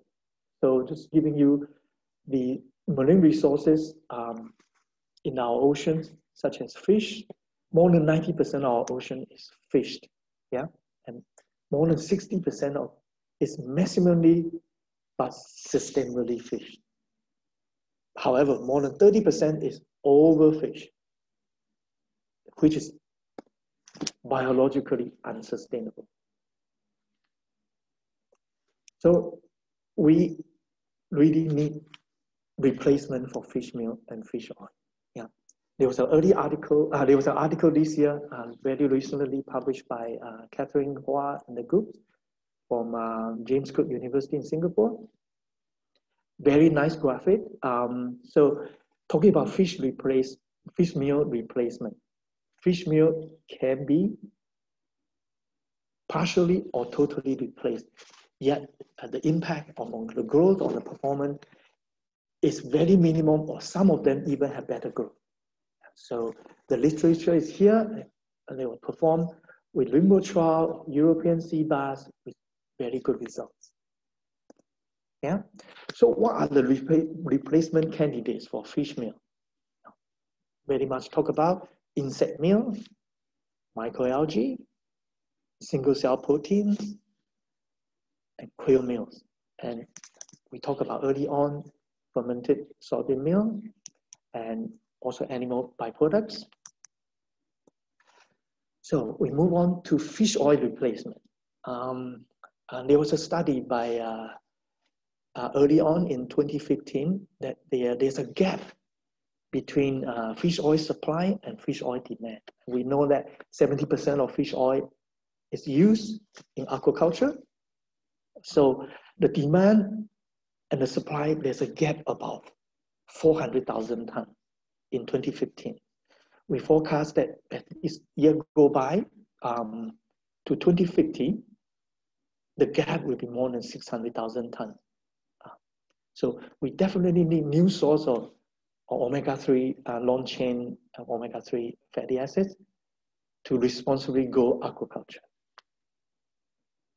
Um, talking about fish oil replacement, uh, we'll touch on the fish oil price. And the fish oil price is very volatile in the past 10 years. Um, in 2010, the fish oil price, let's look at the lower glove, lower, lower, lower curve. Um, it's about 900 US dollar per ton. It went up in 2018 to almost $3,000. And look at the chart on the right. This is uh, this year during the COVID time. Um, fish oil went up to uh, the fish oil for aquaculture use went up to two thousand five hundred and sixty dollars a ton. Um, recently, kind of dropped a little bit to two thousand one hundred. Still, the price is very uh, is about two thousand dollars. So for fish oil replacement, um, there are many ways. Uh, one of the um, sustainable way is using microalgae. Um, our company have able to produce in commercial large scales uh, from Schizochytrium, a, a, marine microalgae, to address the gap of uh, uh, of the supply of fish oil. Okay, conventional way microalgae in the ocean is eaten up by, by zooplankton, and zooplankton is eaten up by fish, and then the fishing vessel to harvest the fish, process the fish to get the fish oil, and then we spray fish oil onto fish feed to feed into our fish. Now there's a convention, there's a new pathway that we can directly cut all the middle stages from the microalgae through fermentation vessels directly delivered to the fish. And this can be produced in a matter of days with very consistent omega-3 level. in, in, in, in AlgaPrime DHA case, we can constantly deliver 28% minimum of DHA. Okay, so uh, moving on to our first, uh, the fourth point, an ideal feed should be given the fish with high performance. Yeah. Um, first, you have to put, provide fast growth. Um, okay, so um, most of our marine fish are mostly carnivorous fish. And um, of course, uh, the mullet is omnivorous, but it's not so well uh, on the mainstream of culture. Mostly salmon, eel, trout, um, and sea bass, sea bream, and turbot, kingfish. These are all marine fish. Yeah. So I know in, in, in this part of Asia, uh, an oil coater with vacuum, vacuum oil coater is a big investment. It's, a 1 million US dollar investment, but a good one. So many feed mill do not have a vacuum oil coater. Um, because AlgaPrime is a powder form, so it can be easily added into the into the raw material which, which everything are all in powder form. And so make it possible to add high level, high percentage of oil without causing you know, oil leaching when the feed are de delivered to the customer. Um, when you do not have an oil coater, there's only certain amount of feed that could, uh, oil could be sprayed on. Okay, I borrowed this chart from uh, from a very nice paper from uh, Israeli study. Um, that different sizes and different temperature uh, of, of fish that affect their performance, their growth performance. And uh, this is, was done with barramundi, with the sea bass, looking at the, the growth of the fish at 24 to 29 uh, degrees Celsius is better, higher than uh, temperature at 20 to 24 degrees. And this is obvious because uh, fish cannot regulate their body temperature, they go with their, their surrounding temperature. So what's the implication of this? Because we are talking about marine fin fish culture, the fish could be grown in the pond with a water depth of one meter, one and a half meters. The fish could be grown in the net pen or cages with the ocean of as deep as like 40 meters at, according to our early speakers. So the temperature of the seawater sure is not the same compared to the pond water. So, should the feed be formulated accordingly to provide a different energy level for even the same species of fish? I think this is a good question for all the nutritionists or all formulated to think about. Yeah? Okay. Um, high performance, uh, we talk about lower FCR. Yeah. So this is just a table showing, say, to produce 100,000 tons of fish with the FCR of 1.6, very typically for sea bass right now, you need 1,000, 16,000 tons of feed. If you can able to reduce the FCR to one, then you only need 10,000 tons of feed. The saving of 6,000 tons of feed is a very good saving for the farmer as well for the environment. Same case for 100,000 tons of production farm, 60% of, of, of, of feed cost saving. That's a huge thing. So the goal for all the nutritionists and formulators is to reduce, to lower the FCR. All right. Moving on to the last point, need to provide safe and quality feed for our consumers. Yeah. By reducing contaminants in our feed, in our raw material. The contribution of feed ingredients to the op, to POP, that's the persistent organic pollutants, uh, including PCB dioxins. See, these are the chart shows you the contribution. Fish oil contribute POPs more than 54%. Fish meal contribute about 12%, vegetable protein, vegetable oil contribute another 35%. So fish oil and fish meal currently contributed more than 50% of contaminant in the feed. This is a very big issue. So reducing fish meal, replacing fish oil will help us reducing the contaminant in the feed and ultimately in the fish that we provided to the consumer. So I'm coming to the last line, the conclusion. So the formulated feed can be cost effective, but extruded feed is the way forward. Formulated feed should be nutritionally balanced. Oops, sorry. Environmental friendly and ingredients should be sourced from sustainable way. And formulated feed should give high performance, provided safe and quality fish fresh for the human being. Thank you very much for your attention. Thank you and excellent. I think all the uh, participants enjoyed your presentation and it was a very insightful, in-depth presentation. I see how um, is uh, uh, in, in the future, uh, in future, how uh, farmers need the cost-effective feed, the balanced feed in the to replace the what we can say the, to replace the trash fish application in mariculture. So I think uh, uh, we in future we can uh, we, we, can talk with Dr. Fusi in, in, details on the nutrition of marine fin fishes and uh, uh, to remind all the participants, um, uh, you can please send your questions to through the through the Q&A tab, and you can also will appreciate to answer the poll questions um, to for your valuable feedback. And now we are moving to our next panelist.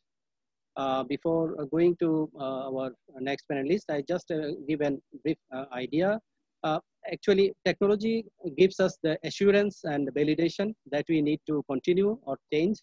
So we should take the advantage of uh, technology in mariculture. Moreover, environmental risk management uh, helps us to manage the possible threats, adverse effects, and can take the environmental advantages that can increase the productivity.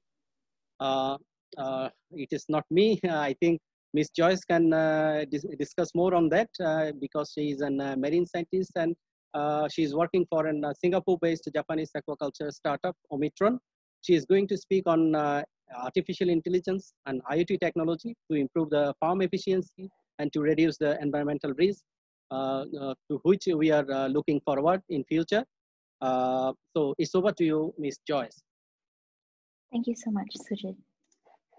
Let me firstly share my screen. Right. So good afternoon, everybody, and good morning and good evening. So thank you everyone for dialing in today for this webinar, and thank you to InfoFish and Skretting for the opportunity to present today alongside these amazing speakers we've heard from so far. Uh, my name is Joyce, and as mentioned, I am a marine scientist working for a startup company called Umitron. We are based in Singapore and in Japan, and we are focused on delivering data-driven software solutions for the aquaculture industry. So today I'll be talking a little bit about how we've used AI and IoT technology to help the industry progress forward. While the application of tech um, tends to be better on a, a, global scale, Asia is definitely primed for its adoption to increase its productivity over the next few years. But ultimately, our vision is to be able to install sustainable aquaculture on Earth. So our story begins in space. Umitron's founders actually had their start in the aerospace and software engineering industry, and they were looking for potential areas where they could leverage their knowledge to solve important issues. And Earth is often called the blue marble for a good reason. 71% of its surface is covered by water. And with advances in satellite technology and data analytics, there was a huge potential for us to make a very big impact. So why did we want to work in aquaculture? And our reply is, why not? As you've heard already from uh, Mr. Sean Lam, our population is currently on a fast track of growth, and we're expected to hit, to hit more than what 9.7 billion people by the year 2050. Rising affluence in the middle classes, particularly in Asia, also means that there is an increased demand for better quality of food, particularly for types of protein. We've also observed an increasing adoption of technology around the world, over the past 20 to 30 years, in part due to its decreasing costs and also increased access. Coupled with this need to feed our ever increasing population, the way that we meet our protein demands will also need to adapt to the changing times. So there is so much untapped potential for aquaculture to fill this protein gap, and we've definitely seen it grow in numbers since the 1950s. As we've heard earlier today, it's not the biggest industry, but it's certainly the fastest growing. So much so that the percentage that we eat that is farmed right now is greater than what is already provided via wild caught sources. And this trend is likely to continue for the foreseeable future. Fish is also a highly resource efficient form of protein to farm as compared to its other counterparts such as beef, chicken, and pork.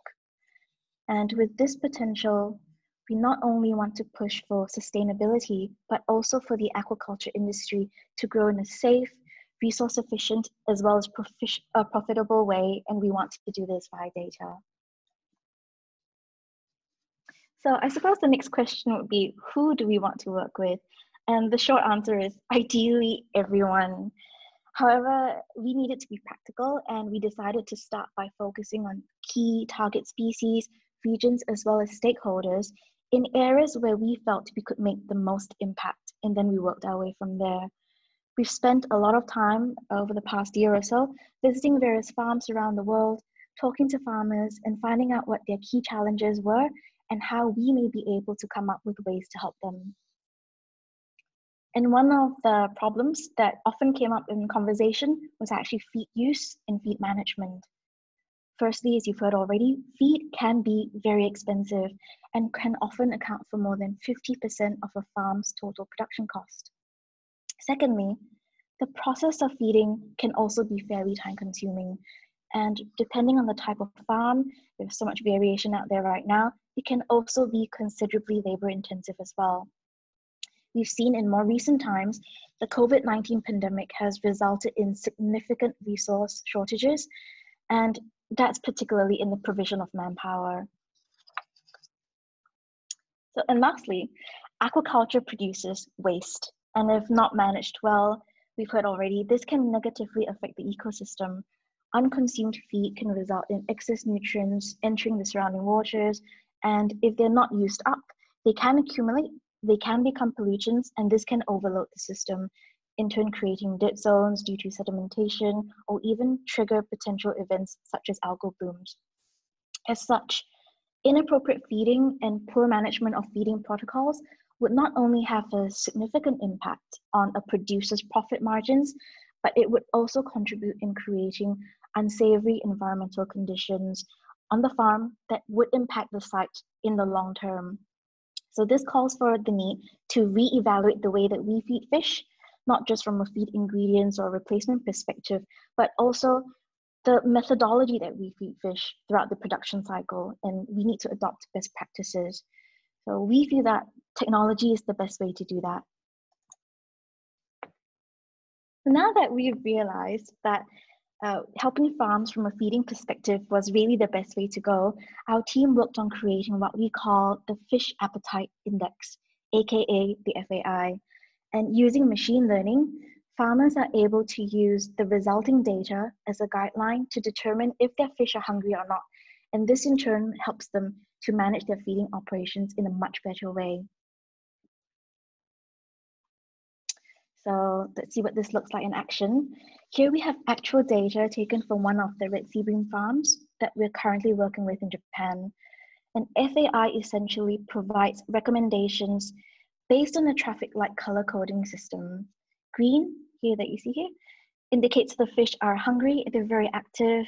Amber or yellow means the fish are starting to become full and they're beginning to lose interest. And red basically means that the fish are, are no longer hungry, they've stopped having that interest in feeding. Right now, the farmers that we work with are still making decisions actively based on the stop signal recommendations that's provided by FAI, but as with all AI systems, we believe that once there's enough data collected and enough training by machine learning, this process can be 100% automated. So despite branding ourselves as a software centric company, we realize that not every farm, particularly those in Asia, has the ability to access our software due to the lack of hardware, hardware available. And as such, we've created two IoT devices called Umitron Cell and Umitron Eye. On the left, we have Cell, what we like to call internally a plugless and play smart feeder. The top portion you see there has a 400 kilogram feed silo. The bottom contains a feeding mechanism, an onboard computer, and a battery. And on the top lid there, there's also a solar panel. And that reduces the need for a farm to have to tap into a power source when this device is installed far out at sea. And on the right, we have Umitron Eye, which basically has all the features Umitron Cell has, except for the feed silo. Based on the feedback that we've gleaned so far, Cell has been better suited for farms that are still doing cage feeding manually and individually, and I is better suited for farms that already have some form of uh, centralized feeding systems such as barges installed, but they may not yet have some for any form of camera systems in place for them to monitor the environment and the fish.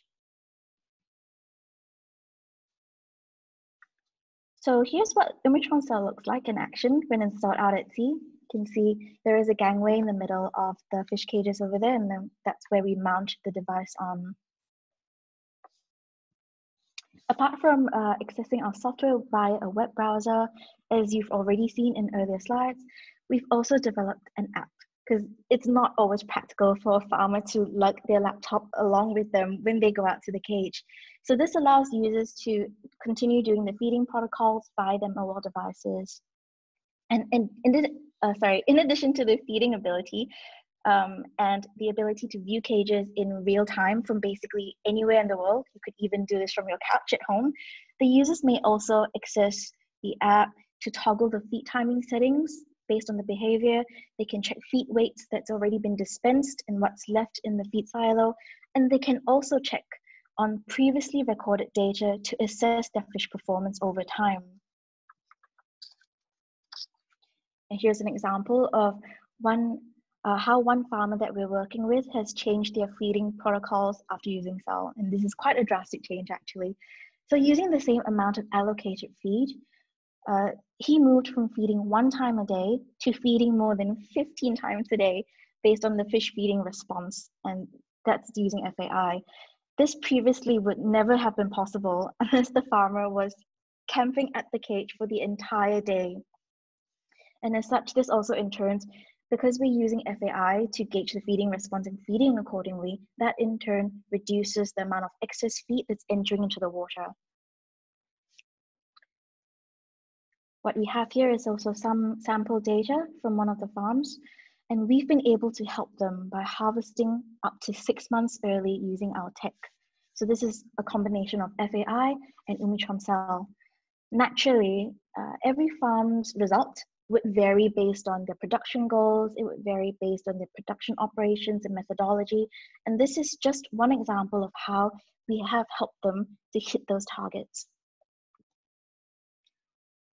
Not too long ago, we've also started working with IDB using Umitron Cell in Peru.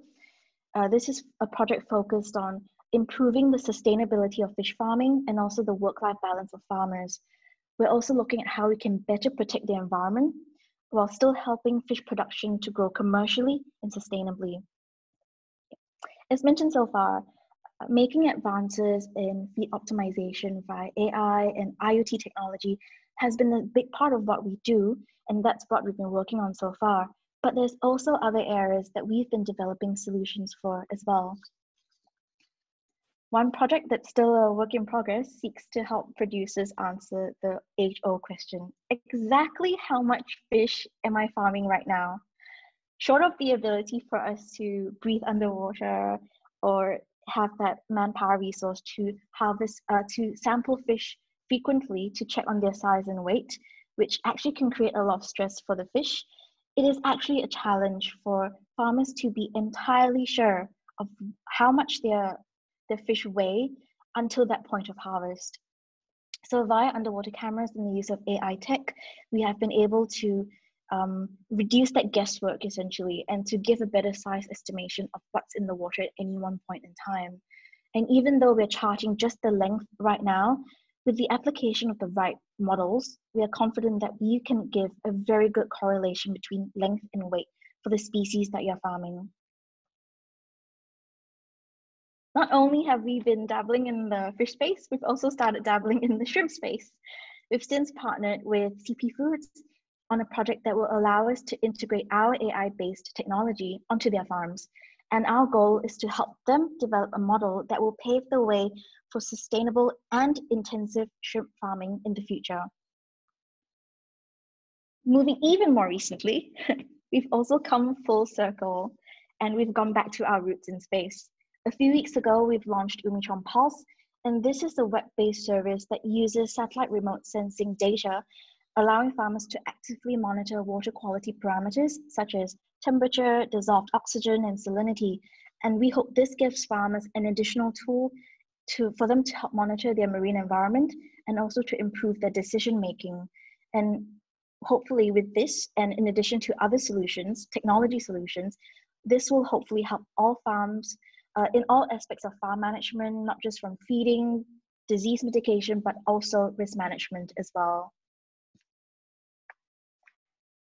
So kept it short and sweet. I hope I've managed to give you a flavor of the potential of AI and IoT technology to help farms with not only improving farm efficiency, but down the road helping them with risk management, environmental management, and also to lead the way for a more sustainable future for the aquaculture industry. Thank you. That's all for me. Okay. Thank you, Ms. Joyce. I think uh, life under the sea will be very interesting in future. Uh, and we'll have uh, now we are go going to moving to our next session the most uh, expected session the question answer session. Uh, uh i think uh, our panelist our valued panelist already uh, replied some of the questions but i need to draw attention for some questions I'd like to go to Mr. Sean Len first. Yes. Yes, yes sir. So, uh, one question to you that uh, which species is most suitable in terms of uh, seed availability, brooder stock, and marketing? All right. Uh, at least, at least top three species. Yeah in the in the South Asia and also Asia subcontinents that is at this moment probably we can consider Asian sea bass, the uh, Barramundi, all right, Pompano, and the other one, the other one I would recommend it's probably more on the niche market and not grouper, cobia. But at this moment, I know Vietnam and Taiwan have a lot of the commercial reproduction, the hatchery available, but it's probably not the other area. But but again, they have target very very niche market. If you look at FAO, the uh, statistics books that you find the China have some production, Taiwan has some production, Vietnam has some production, and the other country is Panama, and pretty much that's all. It's not really forming a, it's not really forming a very very the uh, prevalent market, but it's just target on the niche market. That is probably, but the but, but the first two, the the sea bass and also the pompano right now, yeah, just target on the uh, international market. I think you can just get by. It, it's always matter on the price high and low, but in terms of the sale of the fish, it's possible. Yeah, so so that is my opinion on that. If if is any new farmer, right, jump into the yeah, yeah, so that's probably stay on the safe side until you on very, very clear and concrete uh, the uh, market channel. Otherwise, before that, have better on just like uh, those common species. Uh, before going to next question, I'll just uh, add uh, one additional question to you. Hmm. Basically, what are the specific requirement for setting up a case in case of mariculture? What are the basic requirements for setting up a case the cage farm, right? The yeah. polar circle offshore yeah. cage farm. Yeah, yeah. they actually comes out with the several components that actually are using the finger again. The, uh, the basically, um, if you starting look at more detail that uh, get the get the license deal with the authority. That's one thing. The the cage and the mooring system. That's another things. Then operation will be more on the. Uh, you're gonna have the crew be able to handle the net, the fish, and also the uh, feeding. That is the big one. And then have better find out the partner of the feed company. If you can find one that, yeah.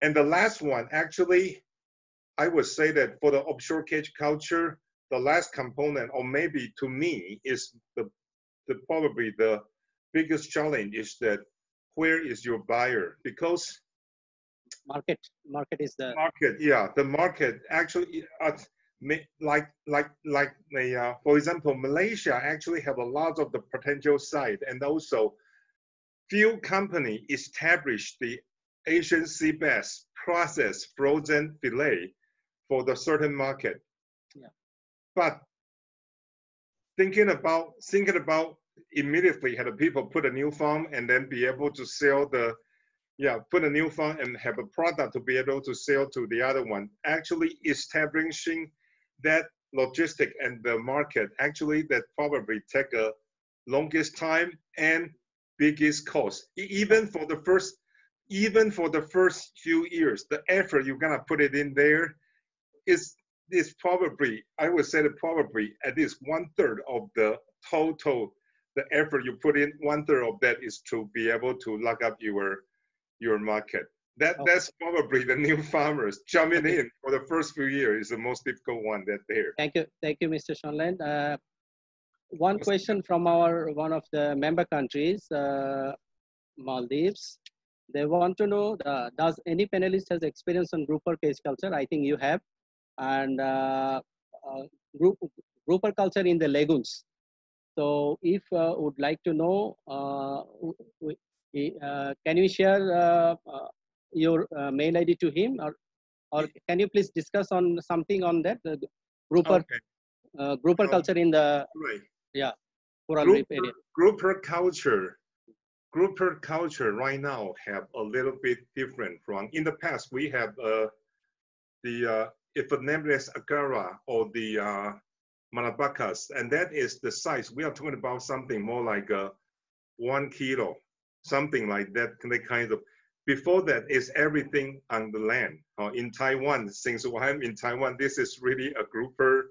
Is really a grouper the uh, center of the production. Now, more and more cage culture is running the, I, I believe that everybody here, the giant grouper, which the fish actually can grow up to like uh, easily 60 kilogram or even, even 100 kilogram, that size. The offshore cage culture, a lot of those actually is stocking those kind of the big one. Now he is asking for the uh, more on the uh, shallow water, right, coastal area. Yeah. Yeah. That tra- Uh, sorry. traditional, traditional. Sorry, Mr. Sean, Mr. Shonland, uh, it's, uh, he's asking about the grouper in uh, lagoons, Yeah. Yeah, and that shallow that yeah. actually my my my opinion on that one is that Anels, you have a very very good hand to handle the fish, because all the grouper itself is not a fish like to swim all the time, which means that every time you have a seasonal change, parasites, only parasites. When you just only dealing the parasites, it's already pent up. It's really bad already. So so yeah, that that is somebody doing a good job on that is usually if when you are able to handle those, they, handle the fish quickly and uh, smoothly on that. Otherwise, that most of the time that I really not I really not uh, recommended the uh, in the raccoon or the uh, near shore cage culture. You, you you gotta have some skill to deal with those. Be able be able to really make the fish grow enough that so, so we are talking about something more like one or two kilo kilo grouper.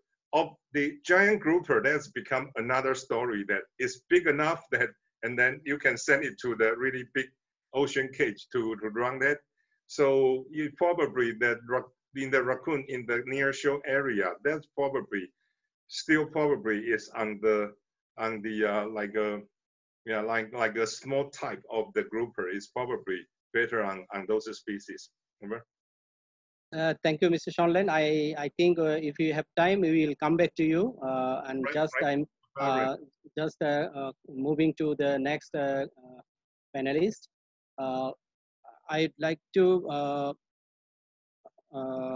ask one question. that is the one of the participants asked question to, I think, Dr. Tipparat can ask this can answer this question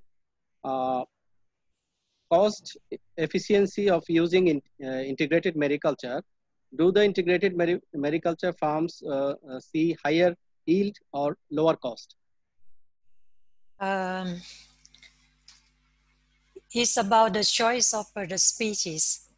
Uh, I think more or less it's uh, technically possible to combine the species, especially in IMTA. But again, it's about uh, um, the value that we get from from the products that we grow.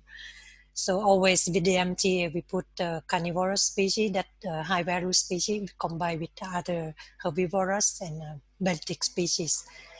I think um, as we see in the example of Indonesia, they try also to develop the cages with two sections. That mean to increase the capacity of the cage that mean the production will be increased. So it's up to the level of technology applied, I think. Okay, thank you. Thank you, Dr. Tipparat. Uh, just uh, uh, another question, I think it is uh, uh, mentioning you. Uh, can we culture oysters, mussels, and seaweed in closed environment using the brackish water? Can you repeat again? Back, yeah. yeah. Brackish yeah, one of the participants asking to know, uh, wanting to know, can we culture oysters, mussels, and seaweed in closed environment by using the brackish water? Mm, as far as I review, I, I, I haven't seen these uh, such specific cases. Usually they combine three main group of species in the IMTA or simple techniques like uh, I just mentioned in the PowerPoint.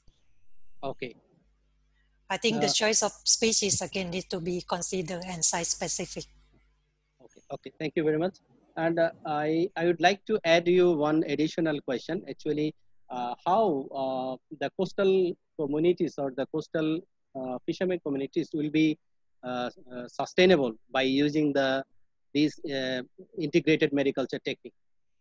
What is your suggestion or what do you think on this? Um, uh, for for people along the coast, as we know, they are uh, more vulnerable. If you ask me in terms of uh, financial benefit, maybe not much. But if we consider also uh, the impact of uh, uh, natural effect that getting to be more and more, it's better that of our small farmers try to diversify the species and products and make them more resilient in terms of market list and also the production list. I think that would be the uh, uh, the benefit. I would say is in intangible benefit that uh, the government and uh, our uh, uh, green corporation may try to help them more because there are so many uh, indirect and intangible benefit uh, that we need to consider as well especially during the COVID, we see very obviously nothing about long term, everything short term. And how do we make more people, small people, vulnerable people more resilient? I think integration might be one of the choices. Thank you very much, uh, Dr. Tipparat. If we if we get time, we will come back to you again. Uh, for running short of time, we, we want to give floor uh, to other panelists also. Okay. Uh, thank you. Uh, now, uh, we have uh, some questions, I, I think, not some, many questions to Dr. Fusi, uh, because speed is a very interesting subject and very uh, most important also in, in, in regard of culturing the marine fin fishes. So first question is, is the higher carbo carbohydrate content uh, in commercial pellet feed is an issue for the promoting healthy gut microbiome? Or since trash fish generally uh, has less than 1% crabs? Can, can you uh, hear me or I can repeat the question? I can hear you. The question is about carbohydrate? Yes. Uh, is the higher carbohydrate content in commercial pellet an issue for uh, promoting healthy gut microbiome? Yeah. That is the question of uh, carbohydrate. Yeah. Well, yeah, um, the carbohydrate coming from the raw materials such like grain. So, you know, the trash fish do not have very high uh, carbohydrate level because they're fish, right? Um, so um, there's a limit that you cannot uh, uh, for the for the for the carbohydrate inclusion in the in in the diet. Um, for instance, uh, for especially for extruded feed, it, it, should not go over twenty percent of carbohydrates. Otherwise, you have a, problem doing the extrusion. Okay. And uh, yeah, please, please yeah. go on. Please go on. Yeah, yeah. That, that, that, that's I'm trying to make my point. Yeah, that's the uh, should not uh, have a limit, but for pelleted feed, um, there's no uh, such a restriction. However, uh, you know, fish uh, they are actually all diabetic, so they have problem uh, metabolize glucose. So um, the uh, um, um, in terms of the question talking about whether it will actually affect the gut health, yeah, I mean, starch will be utilized by the bacteria in the gut and then may, may uh, become food for, for some of the good bacteria is fine, but bad bacteria may cause gut problems. Yes, uh, we have many questions, so I'll move uh, move to next question. What okay. about the digestible energy level in uh, finfish diets? Could you please give an idea of the digestible energy? Uh, it really depends, depend on species, yeah? yeah species depends on species depending yeah, on it is species, yeah, species specific, and it's also warm water, cold water specific. Yeah. Okay. And uh, for cold water fish, like in salmon, they typically they formulated the diet to with 35% fat. So it's very highly energy dense. Okay, thank you. Uh, mm-hmm. I'm uh, moving to next question to you. Uh, what about total process loss, that is dust in extruder? Is there uh, create any microbial or toxin contamination to finish feed? Uh, total loss due to dust in yeah. in uh, extruded feed. Yeah, yeah. Um, well, the standard, the industrial standards should be minimized. Uh, I mean, each each feed mill has their own standard. Um, the dust should be minimized as be, below like 0.5 percent. Um, and and they, they recycle the dust back to the raw material for reprocessing. Yeah. And then the reprocessing, the, the percentage of reprocessing feed shouldn't be too high because it will affect the pellet quality as well and digestibility because this already been cooked. Yeah. Thank you. Uh, you have another question. Uh, DDGS, you, know, uh, replacement, uh, will uh, DDGS uh, a replacement for soybean meal? Uh, it's a question from the participant. I think maybe Sean is better to answer this. okay. Yeah. Uh, Mr. Sean, do you want to add something on this question, specific question? Hello? Can you hear me? Can you hear me, Mr. Sean Oh, oh, okay. yeah. yeah. Hello? Uh, one question uh, from our participant that uh, DDGS will be a replacement for soybean meal? Oh, gonna be pretty hard on that. All right, uh, I, I, I, I go back to the fundamental. Um, soybean, soybean had the uh, fairly, fairly okay level of the lysine corn doesn't have that much. But what the soybean doesn't have is the methionine.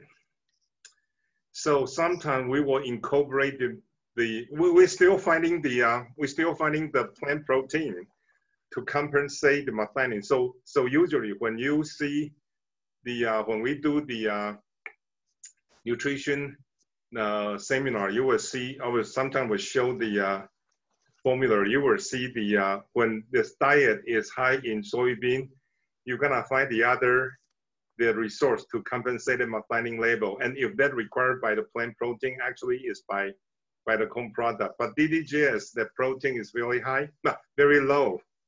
And that part actually is very, very difficult to really to kind of compensate each other on that one. But if you're thinking about using that to be the main protein ingredients in the diet, that will become very, I mean, the low protein diet for some specific, yeah.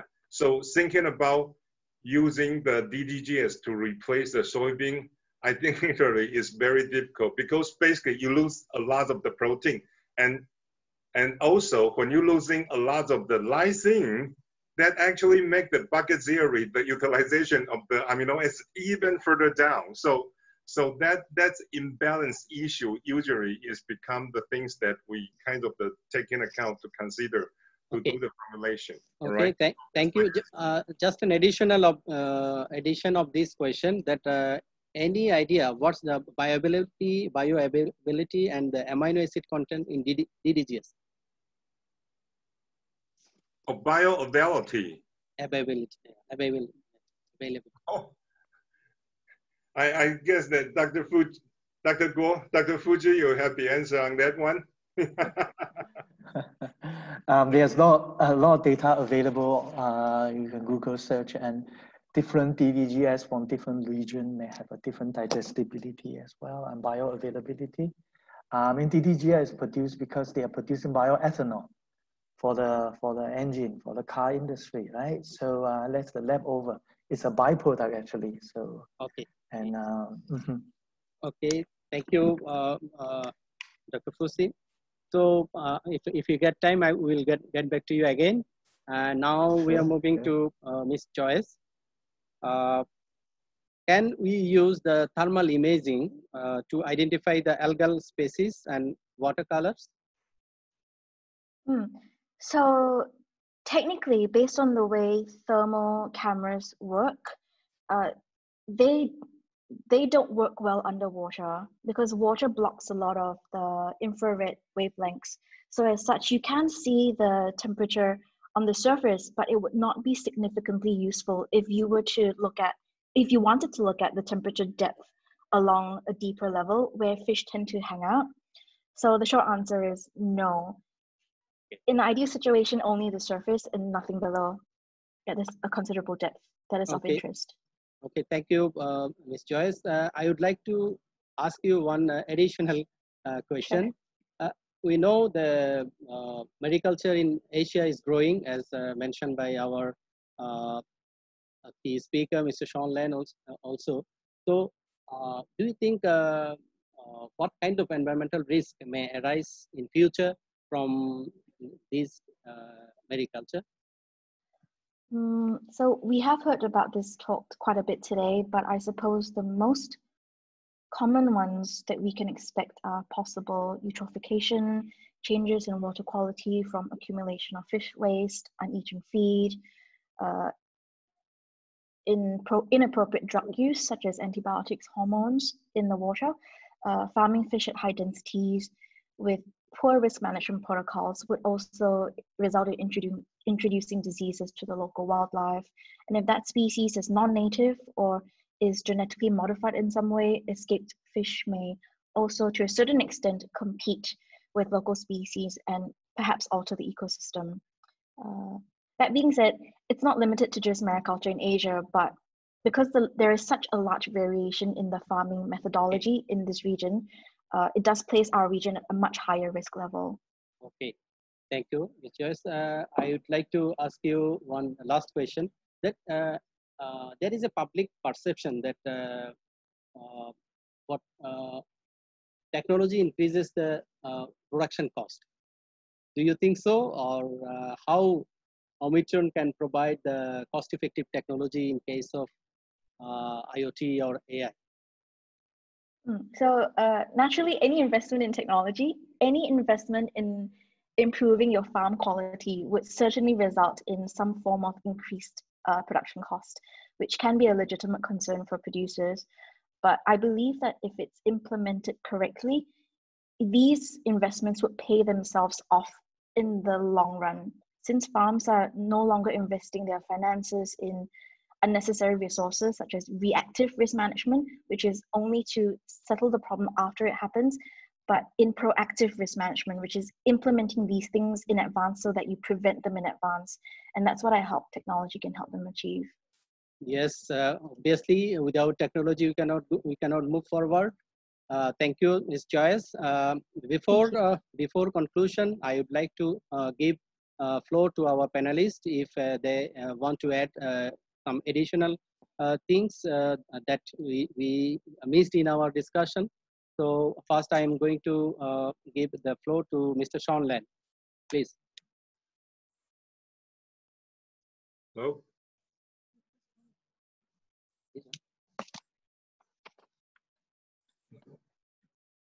Hello. Hello. Oh, you hear me? Yes, yes, please. Okay. But what yeah you you want to uh, you have you have anything to add in addition with uh, on your uh, speech? Oh that um all right. I hope that today what i present and also you hear from everybody's presentation that well i know that i usually give the uh, kinds of the disadvantage or something deficient in the presentation to show you the problem but things is not that bad, all right? So actually there's a new technology. You see what Joyce, the, the uh, Joyce that show you a lot of those. Actually now a lot of the AI automation actually does improve and then fight with a lot of the traditional pattern. So go forward and then we need investor to come to the region, all right? So that getting better of the agriculture and we gonna feed the world. And also using soybean. Thank you. Thank you. Thank you, Ms. Sean Len. Uh, now I'm, I'm moving to Dr. Tipparat. Uh, if uh, if Dr. Tipparat want to add any additional points on the importance of uh, integration in uh, mariculture, please. We cannot hear you. We cannot hear you. Please uh, unmute, please. Yeah. Okay. Please. For me, I would like to add the issue of scale I think for any investment, scale is matter. Uh, for individual investors, uh, in the long term, they can make economy of scale uh, on the technological investment uh, and how they use the land and improve more on the technology. But for our small scale farmers, this is a kind of big question how to make scale for small scale farm. Unless they are collaborate and make group of farms and in terms of association, that might be another solution. Thank you. you. Thank you, Dr. Tipparat. So we, we need more integration in future, mariculture of Asia. And um, now uh, I, I would like to uh, uh, give floor to Dr. Fusi. Uh, please, uh, if, if you have anything to add in addition with your presentation. Uh, thank you, Sujit. I totally agree with Dr. Tipparat that scale is very important. And uh, pertaining to my company. Um, while in algal DHA 10 years ago, it was called by a company is going to be a game changer. But due to the scales, they are not able to produce in hundreds and tens or hundreds thousand tons quantity. So the unit price of algal DHA is still in the 10, $15 level. So uncomparable to fish oil. Um, we know everybody knows it's a good technology, but it's too expensive to use. So uh, Corbion able to bring uh, enlarge the commercial scale to the hundreds thousands of tons of the kind of annual production quantity, and able to bring down the uh, production cost. Uh, we able to improve our production efficiency and bring down the cost.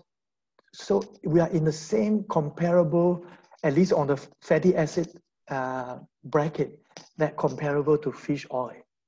Let's say fish oil is a 1.5, $2 a kilo. We should be in that neighborhood, not, not in 10, $15 a kilo. But um, yeah, this is my point to add. Thank you so okay. much. Okay, thank you, Dr. Fusit. So uh, I'd like to invite now uh, Ms. Joyce, if you want to add, add any, any anything more in addition with your presentation. I totally agree with the other speakers today. I think we've touched on a fair number of topics, um, and we sort of realized that there is no one perfect solution available to help this industry, particularly in Asia, to grow. And given the nature of mariculture, it is definitely by far one of the riskier forms of food production that we engage in today. And while it is a goal to strive for, I don't think mariculture will ever be 100% risk free. But what is important is what we can do to leverage on all of the stakeholders in the industry, whether it's using AI technology, advances in feed production, new additives, you know, to bring down that risk factor in whatever way we can and to bring this production in this region forward. Okay, thank you, Ms. Joyce, for your valuable comments again. Uh, so uh, we, with all these presentations, actually, we uh, uh we come to end uh, uh, to this webinar. And before um, conclusion, I'd like to invite Ms. Shirlene Maria Anthonysamy, Director Infofish, to say a few words. Ms. Shirlene Maria Anthonysamy. Thank you, Sujit. Uh, and thank you to each and every uh, one of the panelists uh, for the very, very insightful uh, presentations and information that we received. I am very confident that uh, all the all the audience uh, participants have benefited significantly from the information, just as how um, Infofish has also gained a lot of um, insightful information from the presentations. Uh, indeed, it's it's been um, quite uh, interesting to see the developments taking place in mariculture and some of the issues that uh, how how we go about addressing these uh, issues as well. So uh, again, uh, thank you very much also to each and every participant who has joined us today. We had close to 200 participants today for this event. do look out for our other um, similar webinars coming up. Uh, in the next uh, two weeks or so, we have our tuna, third tuna webinar, and then we have another one on functional feeds coming up as well. Uh, we'll keep you informed on the uh, events that is being organized. A very, very big thank you to our exclusive sponsor, Skretting, a Nutreco company, for uh, supporting this informational um, webinar. Uh, please, um, we look forward to seeing you again in our future events. Thank you. Okay, so with all these presentations and question answer comments, uh, and we try to address the future mariculture development in Asia. Uh, we do believe that our invited panelists were conscious enough uh, in focusing the integration, application of species uh, specific related feed, and application of innovative technology. And uh, we are looking forward to see resilient uh, coastal livelihood and sustainable mariculture development in Asia. We do hope that uh, it was an useful webinar and all the participants, stakeholders will be benefited from this. I'd like to thank uh, each and everyone who joined from different time zones and participated uh, till the end of the session. I'd like to thank uh, Skretting Group for sponsoring this uh, exciting mariculture uh, webinar. And please feel free to write to us for any technical updates related to the uh, fisheries, aquaculture, and seafood sector. And uh, will be uh, will also uh, be appreciated to attend in our next webinars, forthcoming webinars. And we have a couple of webinars in the in September we have a high level and regional virtual, virtual dialogue focusing GCC region. And we have uh, certification and tuna, uh, certification and technology for tuna. And uh, we have functional aquafeed, sustainable solution for the uh, feed industry. So uh, please mark the dates in your calendar and keep following us through www.infofish.org for the updates. Till then, bye-bye. Thank you. Thank you, everyone. Thank you very much. Thank you. Bye-bye. Bye. Bye. Take care. Stay safe. Bye. Sư phụ take care.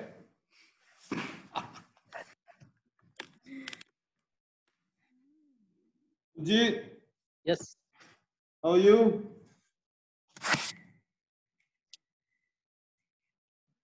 Hello, Mark. Bro, it's a good one. Oh, go. Good, good. How Very how are good. you? Thank you, Mark. Yeah.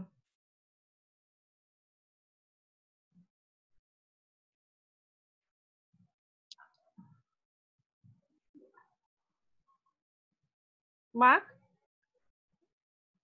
Are you there?